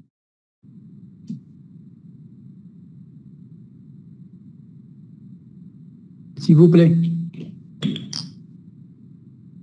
On continue directement. D'accord, on enchaîne le, le TD. Donc, on va commencer le, le TD. C'est la série numéro 3 concernant les formes intermédiaires. On va commencer avec le, le premier exo et on a deux expressions. On vous demande de donner la forme post-fixée, les quadruplés et l'arbre abstrait de, des deux expressions. On va commencer par la première expression. D'accord Donc, on a l'expression E, on lui affecte A plus A multiplié par C plus moins 4, I divisé par 4 moins S. D'accord J'ai parenthésé l'expression, puisqu'en parenthésant, on prend l'associativité de gauche à droite, et l'ordre de priorité, le plus et le moins, ils sont moins prioritaires que la multiplication et la division. Et le plus et le moins, ils ont même niveau de priorité. La multiplication et la division, ils ont même niveau de priorité. On prend l'associativité de gauche à droite. Donc là, on va commencer avec la forme post-fixée. Donc la forme post-fixée, vous avez une affectation d'une expression. J'ai mis sur la totalité une expression. Donc vous aurez la forme post-fixée de, de E suivie de la forme post-fixée de l'ex- de l'expression affectation. D'accord?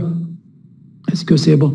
Maintenant, j'ai mis quoi? J'ai mis l'expression loulania, l'expression loulania tout t moins s, le t moins s, d'accord? C'est la forme, le e, forme postfixée de t, suivi de la forme postfixée de s moins affectation. Puisque j'ai noté avec la grande expression par t. Et moins, ce t moins s, elle devient t moins s, d'accord? Par la suite, le t, on a deux expressions, t1 et t2. Donc le T, on, va la décomposer. Donc j'aurai E, forme postfixée de T1, suivi de la forme postfixée de T2. Vous avez le plus entre T1 et T2. Vous aurez le plus S moins affectation. Et on va développer pour FT1 et FT2. Donc on aura toujours le E. FT1, c'est quoi? C'est F, forme postfixée de A multiplié par B, suivi de la forme postfixée de moins 4. Plus, entre le plus entre A fois C, et plus moins 4. D'accord?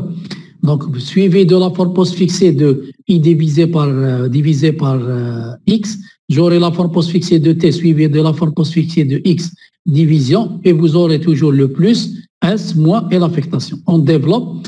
La première, vous aurez le e, par la suite a fois c, vous aurez ac multiplication.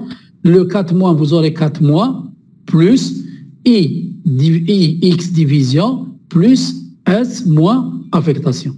Est-ce que c'est bon pour la forme postfixée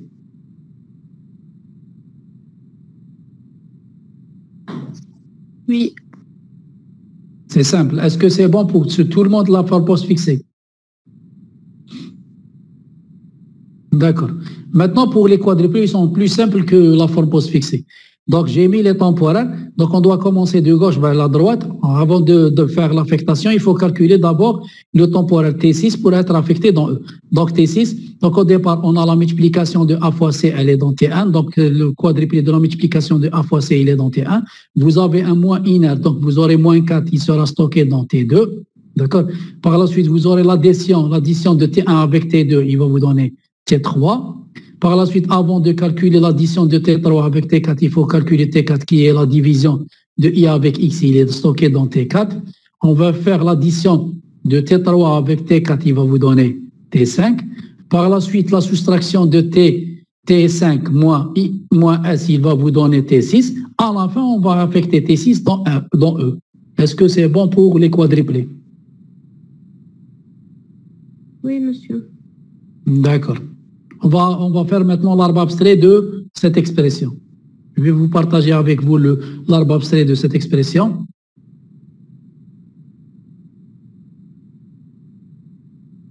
Est-ce que vous voyez le partage? C'est bon? Oui. D'accord. Donc là, vous avez une affectation. On va affecter dans E l'expression. La partie droite, vous avez l'arbre de l'expression. Quel est le moins prioritaire? C'est le moins le fouqani. Le moins, c'est le moins, un- moins S il est moins prioritaire. Donc, vous aurez moins S, S pour la partie droite, et pour la partie gauche, vous aurez l'addition dans le sens, à l'expression que j'ai dit, mais il n'a pas passé T1 avec T2, plus la partie droite, c'est la division de I avec X, et la partie gauche, ça sera l'addition la, de la, le AC avec le moins, le moins T le 4.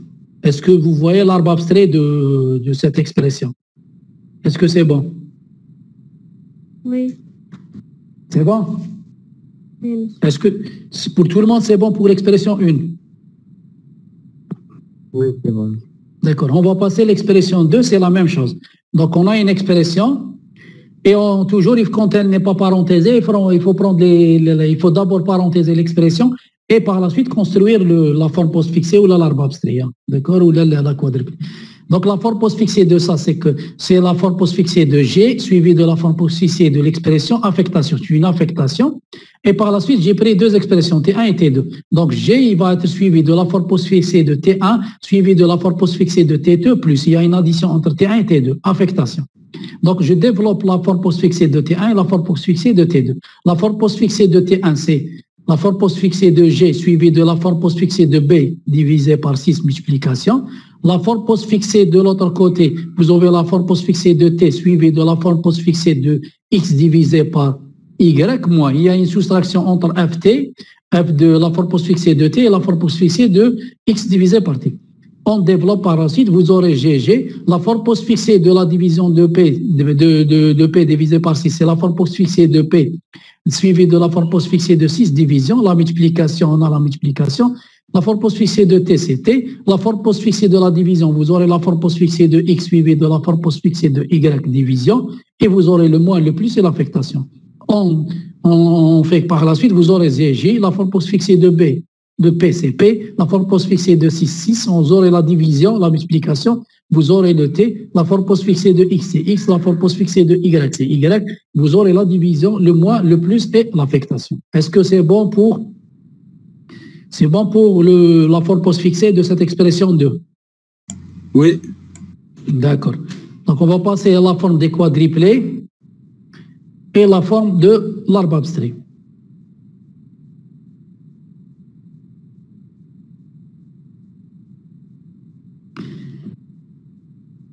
Donc, la forme des, des quadriplés, est-ce que vous voyez la, la feuille? Oui. D'accord. Donc, au départ, on doit calculer la division de P, de P avec divisé par 6, il va vous donner le temporaire T1. On fait la multiplication de G avec T1, il va vous donner le temporaire T2. Et donc, pour faire l'addition, il faut d'abord calculer le deuxième membre. Donc, avant de calculer, on doit faire la division de X avec Y, il est dans T3. Par la suite, la soustraction de T avec T3, il va vous donner T4. Par la suite, on va additionner T3 avec T4, il va vous donner T5. À la fin, on va affecter T5 dans G. Est-ce que c'est bon? Pour les quadriplés. Oui. D'accord.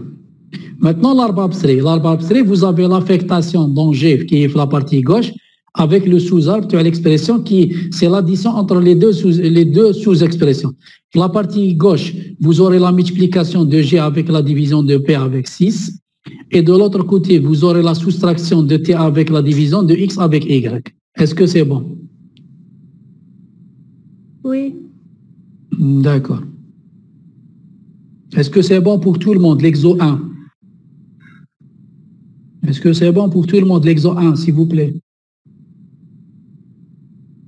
Normalement, c'est bon, oui, monsieur. D'accord. Ok. Donc, on va attaquer l'exo 2. L'exo 2, ils ont donné deux expressions. La, première expression, le repeat, vous avez le repeat, W, on lui affecte W plus 1, et vous avez if x inférieur à 1, then x, on lui affecte 0, else x, on lui affecte z et y fois z. Et le, et le intel jusqu'à avoir W inférieur ou égal à 15 ou bien X supérieur à 20. Ça veut dire quoi le repeat? La sémantique de le repeat, je les mets la partie à droite. La sémantique le, le repeat, on exécute une fois le bloc d'instruction et tant que la condition elle est fausse, on revient. Dès qu'elle devient vraie, ça veut dire soit on a W inférieur ou égal à 15 ou, ou bien le X supérieur à 20, on sort. Pour revenir, il faut avoir W supérieur à 15 and x inférieur à égal à 20. Donc, on exécute une fois le, le, le, le bloc d'instruction et par la suite, si x, w, il est supérieur à 15 and x inférieur ou égal à 20, on fait un retour pour exécuter le repeat. Jusqu'à avoir une des conditions vraies, puisque vous avez un or binatum, soit w inférieur ou égal à 15 ou bien x supérieur à 20 en sorte. Est-ce que c'est bon pour la sémantique le, le repeat Est-ce que c'est bon?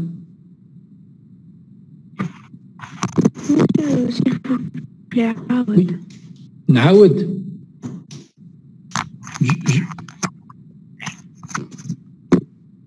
Je, répète s'il vous plaît je dis que la sémantique de le repeat c'est quoi? On exécute une fois le bloc d'instruction qui est entre le repeat et le intel on exécute même si la condition elle est vraie ou la fausse La première fois, on doit l'exécuter, puisque j'ai mis la sémantique la partie droite. J'exécute le bloc d'instruction qui est formé de W, on lui affecte W plus 1, le if ou non.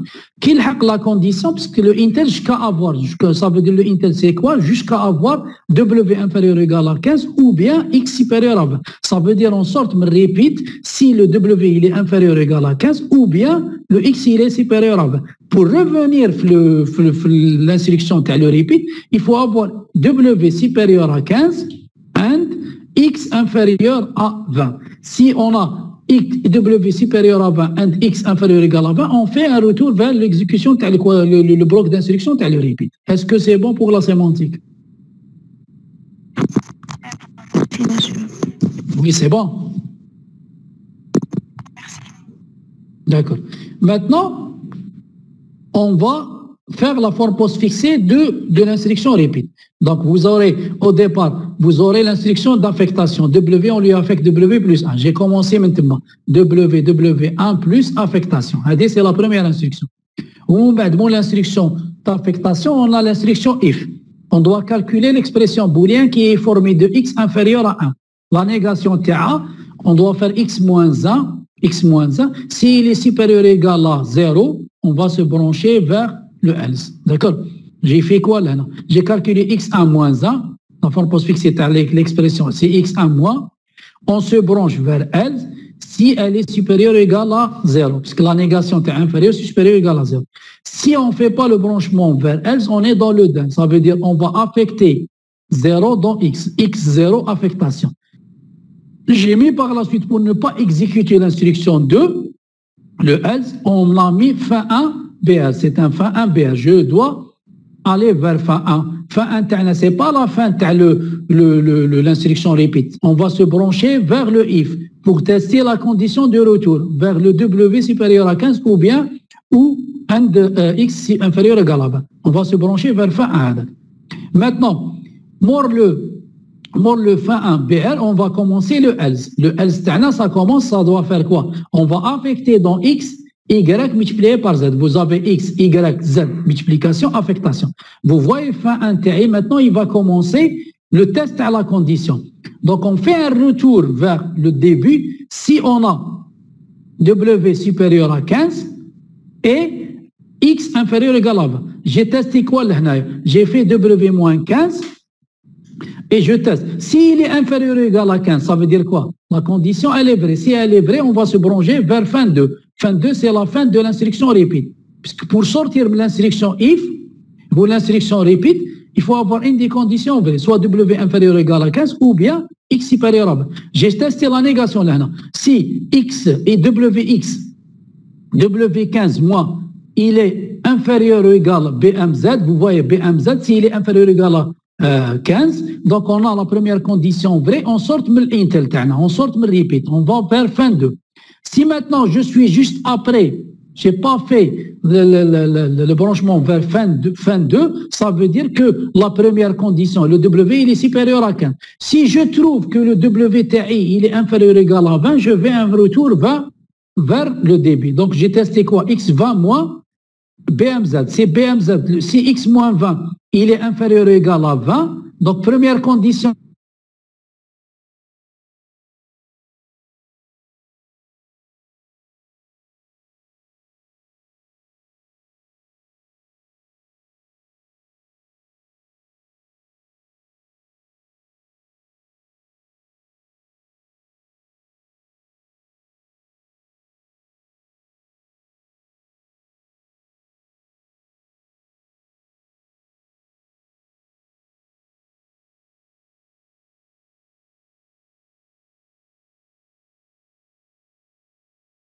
Je m'excuse, il y a une coupure, hein, d'accord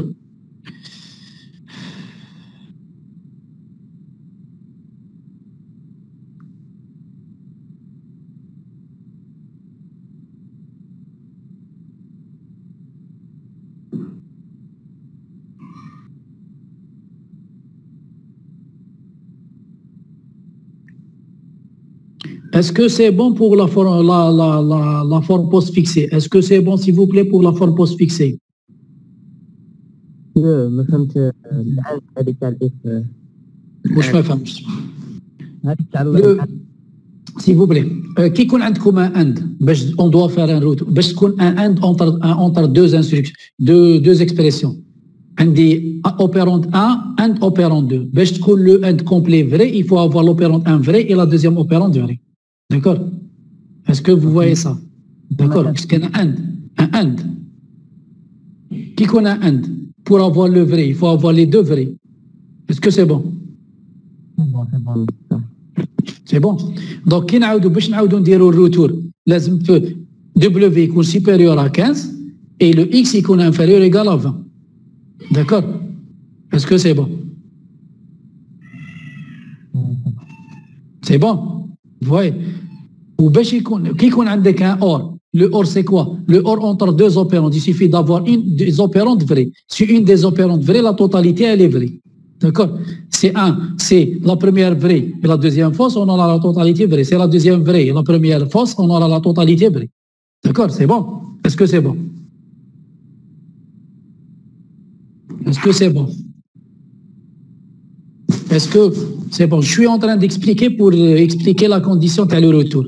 Est-ce que vous voyez pour le or et le and Est-ce que vous voyez, est-ce que s'il vous plaît, vous voyez pour le or et le and S'il vous plaît, j'attends la réponse Takum.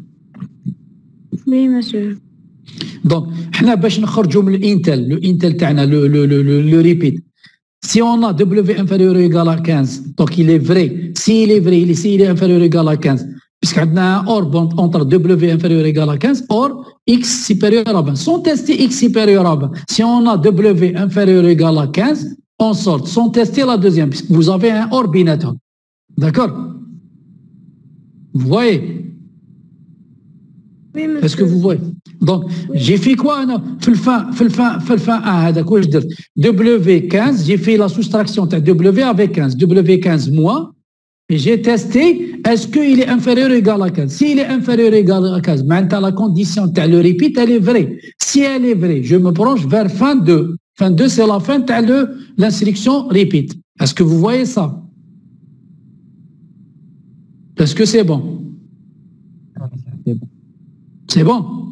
Ou bien, là, je un branchement vers fin 2. Maintenant, la condition W, il est supérieur à 15 il est supérieur à 15 وعندنا ان اند pour faire un retour عندي دبليو supérieur à 15 et عندك un اند لازم نفيريفي que x elle est inférieure ou égale à 20 si je trouve x inférieur ou égal à 1 20 je reviens vers début j'ai fait quoi j'ai fait x moins 20 et j'ai testé BMZ.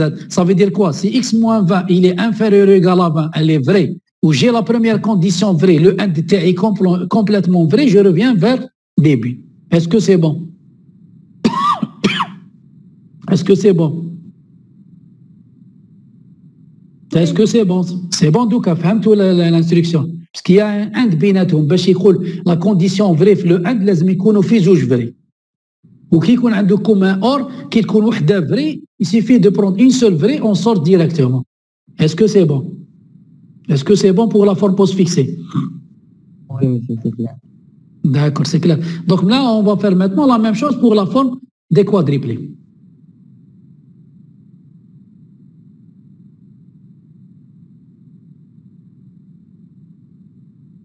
Est-ce que vous voyez le, la, for- la, la, la- le partage? Est-ce que vous voyez là?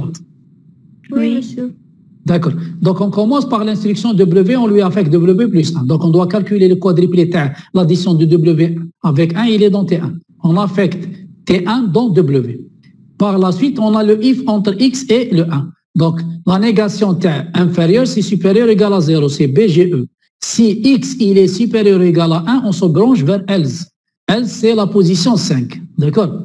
Maintenant, si EX il est inférieur à 1, on exécute le DIN. Donc on affecte 0 dans X, vous voyez affectation de 0X, on fait un BR vers fin 1. Fin 1, c'est le débit le, la condition à le intel. D'accord? On se branche vers 7. D'accord? Si on est le 5, on est le else. Donc on exécute la multiplication de Y avec Z, il est dans T2. On affecte T2 dans X. Après le, le else, on aura directement, on se branche directement vers la condition. Et la même chose, la condition, vous voyez, si W il est inférieur ou égal à 15, BLE c'est inférieur ou égal à 15, si W il est inférieur ou égal à 15, vous voyez que la condition le intel elle est vérifiée, elle est vérifiée, W inférieur ou égal à 15, on se branche vers fin 2. Fin 2 c'est la position 9. D'accord? Vous voyez la position de la fin 2 c'est 9. D'accord Si on est le quadruplé 8, maintenant, le W, il est supérieur à 15. Il n'est pas inférieur à, euh, il n'est pas inférieur à ou égal à 15. Il est supérieur à 15. Donc, si on trouve par la suite la deuxième inférieure ou égale à 20, X. Si on trouve X avec 20 inférieur ou égal, X inférieur ou égal à 20, le premier vrai, le deuxième vrai, le incomplet, il est vrai, on revient vers début. Le début c'est le début c'est 1.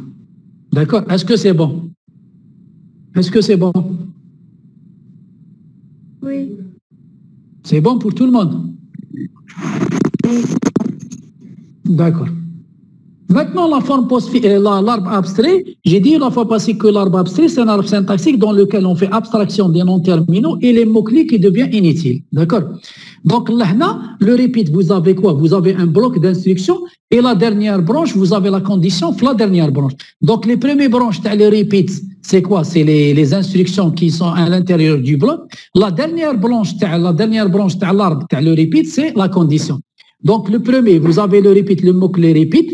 Première branche, le repeat, vous avez une affectation dans W de plus W avec 1. D'accord? Deuxième, affect, deuxième instruction, le repeat, c'est quoi? C'est un if. Le if, la première branche, c'est la condition. La deuxième branche, c'est le then. La troisième branche, c'est le else. La première branche, c'est le if, c'est vous avez x inférieur à 1. Deuxième branche, c'est le den, donc c'est l'affectation dans x de 0. Troisième branche, c'est le s, donc vous avez l'affectation dans x de la multiplication de y avec z. Et troisième branche, c'est la condition. La condition, vous avez un OR entre W avec 15 et X avec 20. Est-ce que c'est bon pour le verbe abstrait de, de repeat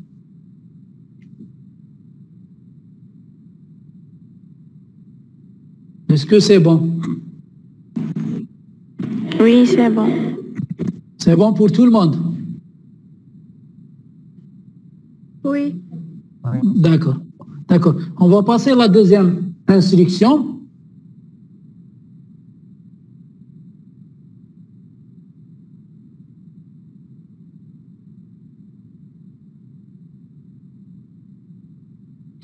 c'est la deuxième instruction begin and et on vous donne une déclaration du tableau A, on lui affecte A, il est à deux dimensions, A, et la deuxième dimension, c'est A plus B. Et vous avez while A inférieur ou égal à B multiplié par C, d'où begin and, et vous avez un bloc d'instruction dans le deuxième bloc, dans le deuxième begin and. D'accord? Est-ce que le rythme le TD, il est bon comme ça? Est-ce que c'est bon? Est-ce que je vais vite ou là? S'il vous plaît. Est-ce que vous comprenez? C'est pas l'essentiel d'avancer et d'être à la fin de, ne rien comprendre. Est-ce que c'est bon jusqu'à maintenant? Ça va, monsieur. C'est bon. Donc là, vous avez un begin and, vous avez une déclaration du tableau suivie de l'instruction white. Donc au départ, on va à une déclaration du tableau. La fois passée, le courant adéquat pour la déclaration du tableau? On doit énumérer d'abord pour chaque dimension la borne F, la borne sub. La borne F, le tableau A, c'est quoi? C'est petit a.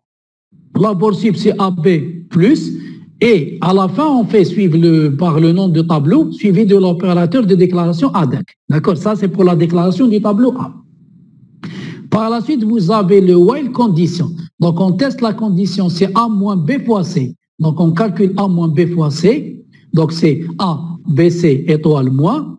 Donc, on se branche vers fin la négation de ça. Si elle est plus grande, si elle est positive, on n'exécute pas l'instruction qui est à l'intérieur du bloc de while. Donc on se branche vers la fin. D'accord? Si maintenant la condition elle est vraie, je rentre à l'intérieur du bloc.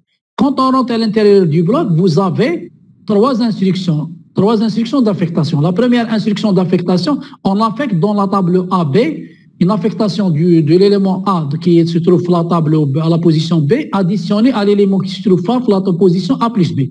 Donc là, on fait quoi? Le cas à la référence à un élément du tableau, on doit énumérer d'abord les indices. À la fin, on, met le nom du tableau suivi de SEPS. L'indice, c'est le premier A, à l'affectation A, c'est BA SEPS. Deuxième A, c'est BA SEPS. Troisième A, c'est AB, AB plus, A SEPS on fait l'addition de AB avec AB, grand AB, AB+, d'accord? Le résultat il sera affecté dans AB. D'accord? On met à la fin affectation. Par la suite, on passe à la deuxième instruction. C'est affecté dans A, l'affectation de A plus A. Donc, dans A, on affecte A1 plus, affectation. Dans B, on va affecter B multiplié par C. Donc, B, on lui affecte B, fait BC, étoile, affectation. À la fin, quand on termine avec les instructions, on revient vers débit pour exécuter le bloc d'instruction de while. D'accord? On revient vers début et on exécute jusqu'à arriver à la fin. Est-ce que c'est bon?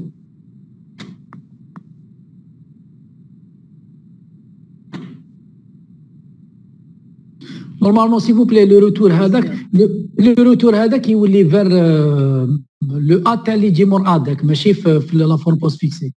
Est-ce que c'est bon? اه فوالا D'accord. مسيو. في الكوادريبلي درناه جيست سي الفوقا في الديبي تاع لا فورم بوستفيكسي عاودوا ردوه فوق لا لا لو بوتي تا كي فيان ابري في لا كونديسيون سي سا في لا كونديسيون داكور باسكو في لي كوادريبلي درتو جيست مي في في في اسمه في لا فورم بوستفيكسي كي كتبت عاود كتبتو فوق داكور اسكو سي بون بور لا فورم بوستفيكسي وي مسيو ميرسي D'accord. Maintenant, on va construire la même chose, les quadriplés. Les quadriplés, on a une déclaration du tableau. Pour la déclaration du tableau, il faut d'abord calculer pour chaque, euh, chaque dimension la bord F et la bord cible. La bord F, c'est petit a, on ne calcule pas le quadriplé. La bord cible, c'est A plus B. Donc, on calcule le quadriplé à l'addition AB. AB, donc, il est dans T1. Et par la suite, pour la forme des quadriplés, on met le mot-clé bon pour exprimer que la bord F, c'est petit a, la bord cible, c'est T1. À la fin, on va mettre, le long du tableau, dans les quadriplés 3, on va mettre ADEC pour dire que le tableau A déclaré et les, les bords F et les bords ils sont dans la bord précédente. D'accord? Maintenant, à partir de quadriplé 4, on va commencer le Y. Donc, on calcule B fois C, il est dans T1, T, T, T2. Et par la suite, puisqu'on a deux, on peut comparer avec A avec T2. Donc, CA, il est supérieur à T2, on va se brancher vers fin. BJ, c'est supérieur. CA, il est supérieur à T2, on va se brancher vers fin, qui est la position 14. Justement, la, la- condition, si on ne fait pas un branchement vers 14, on va faire le, bloc d'instruction begin 1, t'as les trois affectations. Donc, on commence par l'addition de A plus B, il est dans T1. On fait l'addition de A de B1 avec A de T, euh, T3, il est dans T4. On affecte T4 dans A de B1. Par la suite, on va passer l'instruction A, on lui affecte A plus 1. On additionne A avec 1, elle est dans T5. On fait l'affectation de T5 dans A. Par la suite, on fait la multiplication de B fois C, elle est dans T6. On affecte T6 dans, dans B. Et on fait un retour BRDB vers la position qui est le, le, le quadruplé numéro 4. Est-ce que c'est bon? Est-ce que c'est bon pour les quadruplés?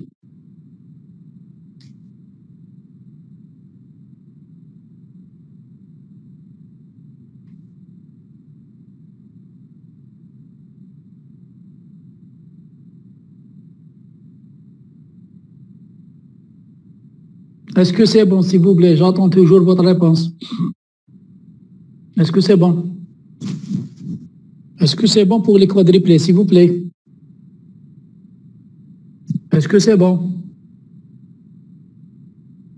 D'accord. Maintenant, il nous reste l'arbabstri. L'arbabstri, vous avez begin and. Quand on a begin and, il faut énumérer les instructions qui sont à l'intérieur de begin and. Vous avez... Oui. Monsieur, j'ai une question. Oui, oui. 5. كي درنا كي درنا بي فوا سي من بعد نديرو مع ا ما ندي- نخليوها تي دو ما نديروش تي 3 تماك Là, là, puisqu'on fait- on compare A avec T2, BJ, on se branche vers fin. On Ah, compare d'accord. A avec.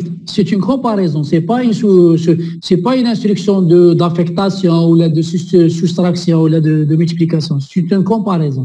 Est-ce que c'est bon? اه خلاص Est-ce que vous avez d'autres questions, s'il vous plaît? Est-ce que vous avez d'autres questions, s'il vous plaît? C'est bon? Donc, l'arbre abstrait de, du bloc d'instruction begin end, pour le begin end, vous énumérez les, les- instructions qui sont à l'intérieur du begin end. Vous avez une déclaration, une, vous avez une déclaration et vous avez l'instruction oui. Déclaration, on a dit quoi pour la déclaration? On va mettre le, la racine, l'opérateur de déclaration ADEC. La première branche, c'est le nom de le tableau. La deuxième branche, chaque euh, dimension, on va énumérer la borne F et la borne cible. La borne F, c'est la branche A et la borne as, c'est l'addition de, de A avec B. Maintenant, de l'autre côté, vous avez l'instruction Y. Pour l'instruction A, vous avez la première branche, c'est la condition. Et deuxième branche, vous avez la condition, euh, l'instruction. Donc, première branche, vous avez inférieur ou égal A avec la multiplication de B fois C. De l'autre côté, la deuxième branche, c'est le bloc d'instruction tel le Y. Donc, vous avez begin and, vous avez trois instructions. Vous avez la première instruction, on affecte dans la substitution de A de B. Donc, la, substitution, on met le, la racine, le- le- le- l'opérateur de substitution. On commence par la première branche, c'est le, le, nom du tableau. La deuxième branche, on va énumérer les indices. Les indices, on a un seul indice qui est le bilan. Par la suite, on va additionner le tableau AB avec la- l'addition de le tableau, le- la substitution de A dans plus AB. Deuxième instruction, t'as le begin, c'est l'affectation dans A de l'addition de A avec 1. Troisième instruction, le, le bloc begin, c'est affectation de B de la multiplication de B fois C. Est-ce que c'est bon pour l'arbre abstrait? L'arbre abstrait de cette instruction. Est-ce que c'est bon? Oui, c'est bon. C'est bon pour tout le monde. Est-ce que c'est bon? Est-ce que vous avez des questions?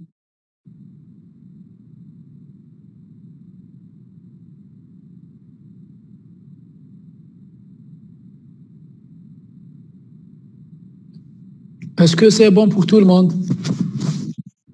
S'il vous plaît.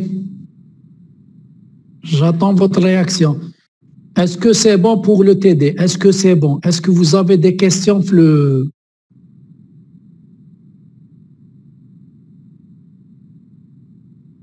Est-ce que vous avez des questions pour la correction? Est-ce que vous avez des questions pour les exemples de l'exo 1 et l'exo 2 J'attends votre réaction, s'il vous plaît.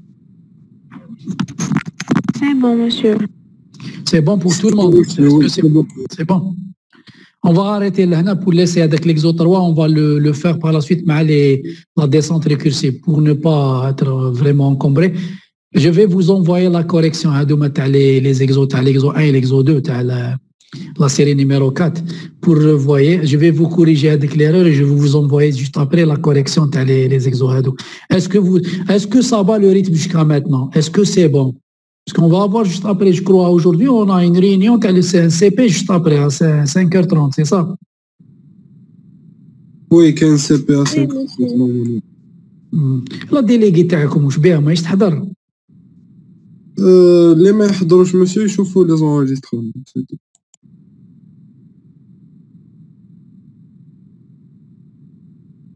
s'il vous plaît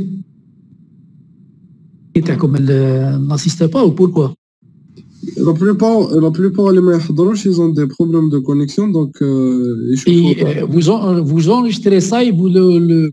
Oui, oui. Euh, euh on, a, on a des vidéos des cours et on les enregistre. D'accord. D'accord. Est-ce que vous avez des questions avant de se quitter? Est-ce que vous avez des questions? Est-ce que vous avez des remarques?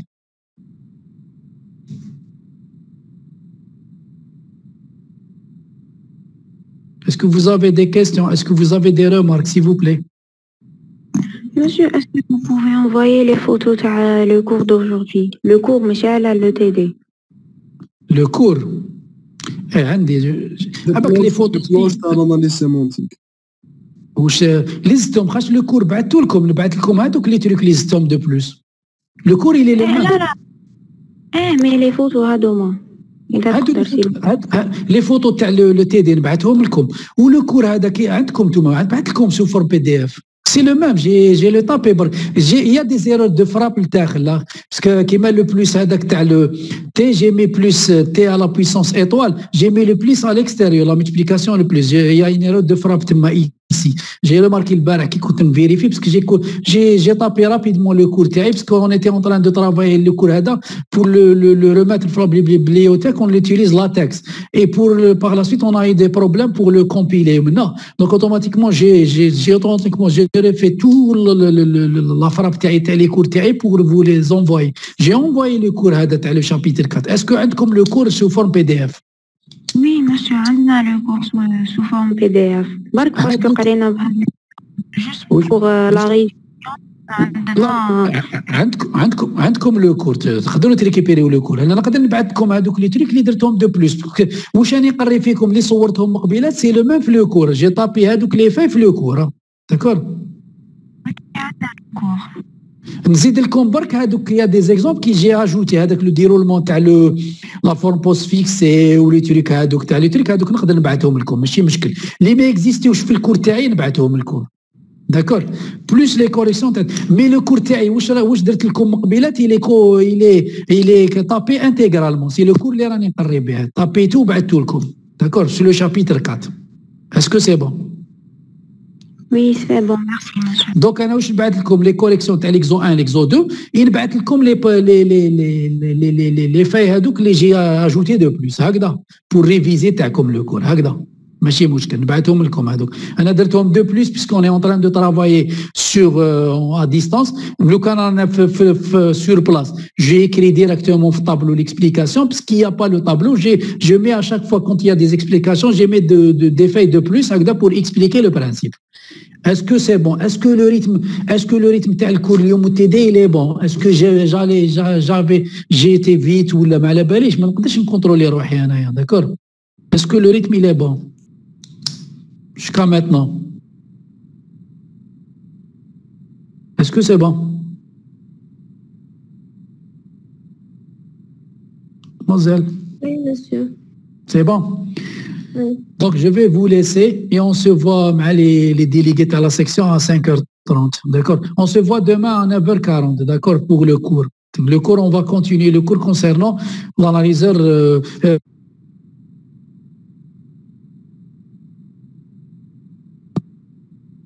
ascendant, dans le cas ascendant, ascendante, le- on, est- on va faire la même chose pour les expressions arithmétiques et à la fin, on va traiter les, les étiquettes, les go-to étiquettes. D'accord? Donc, on se voit demain, Inch'Allah. Et on voit. C'est bon? Oui, merci.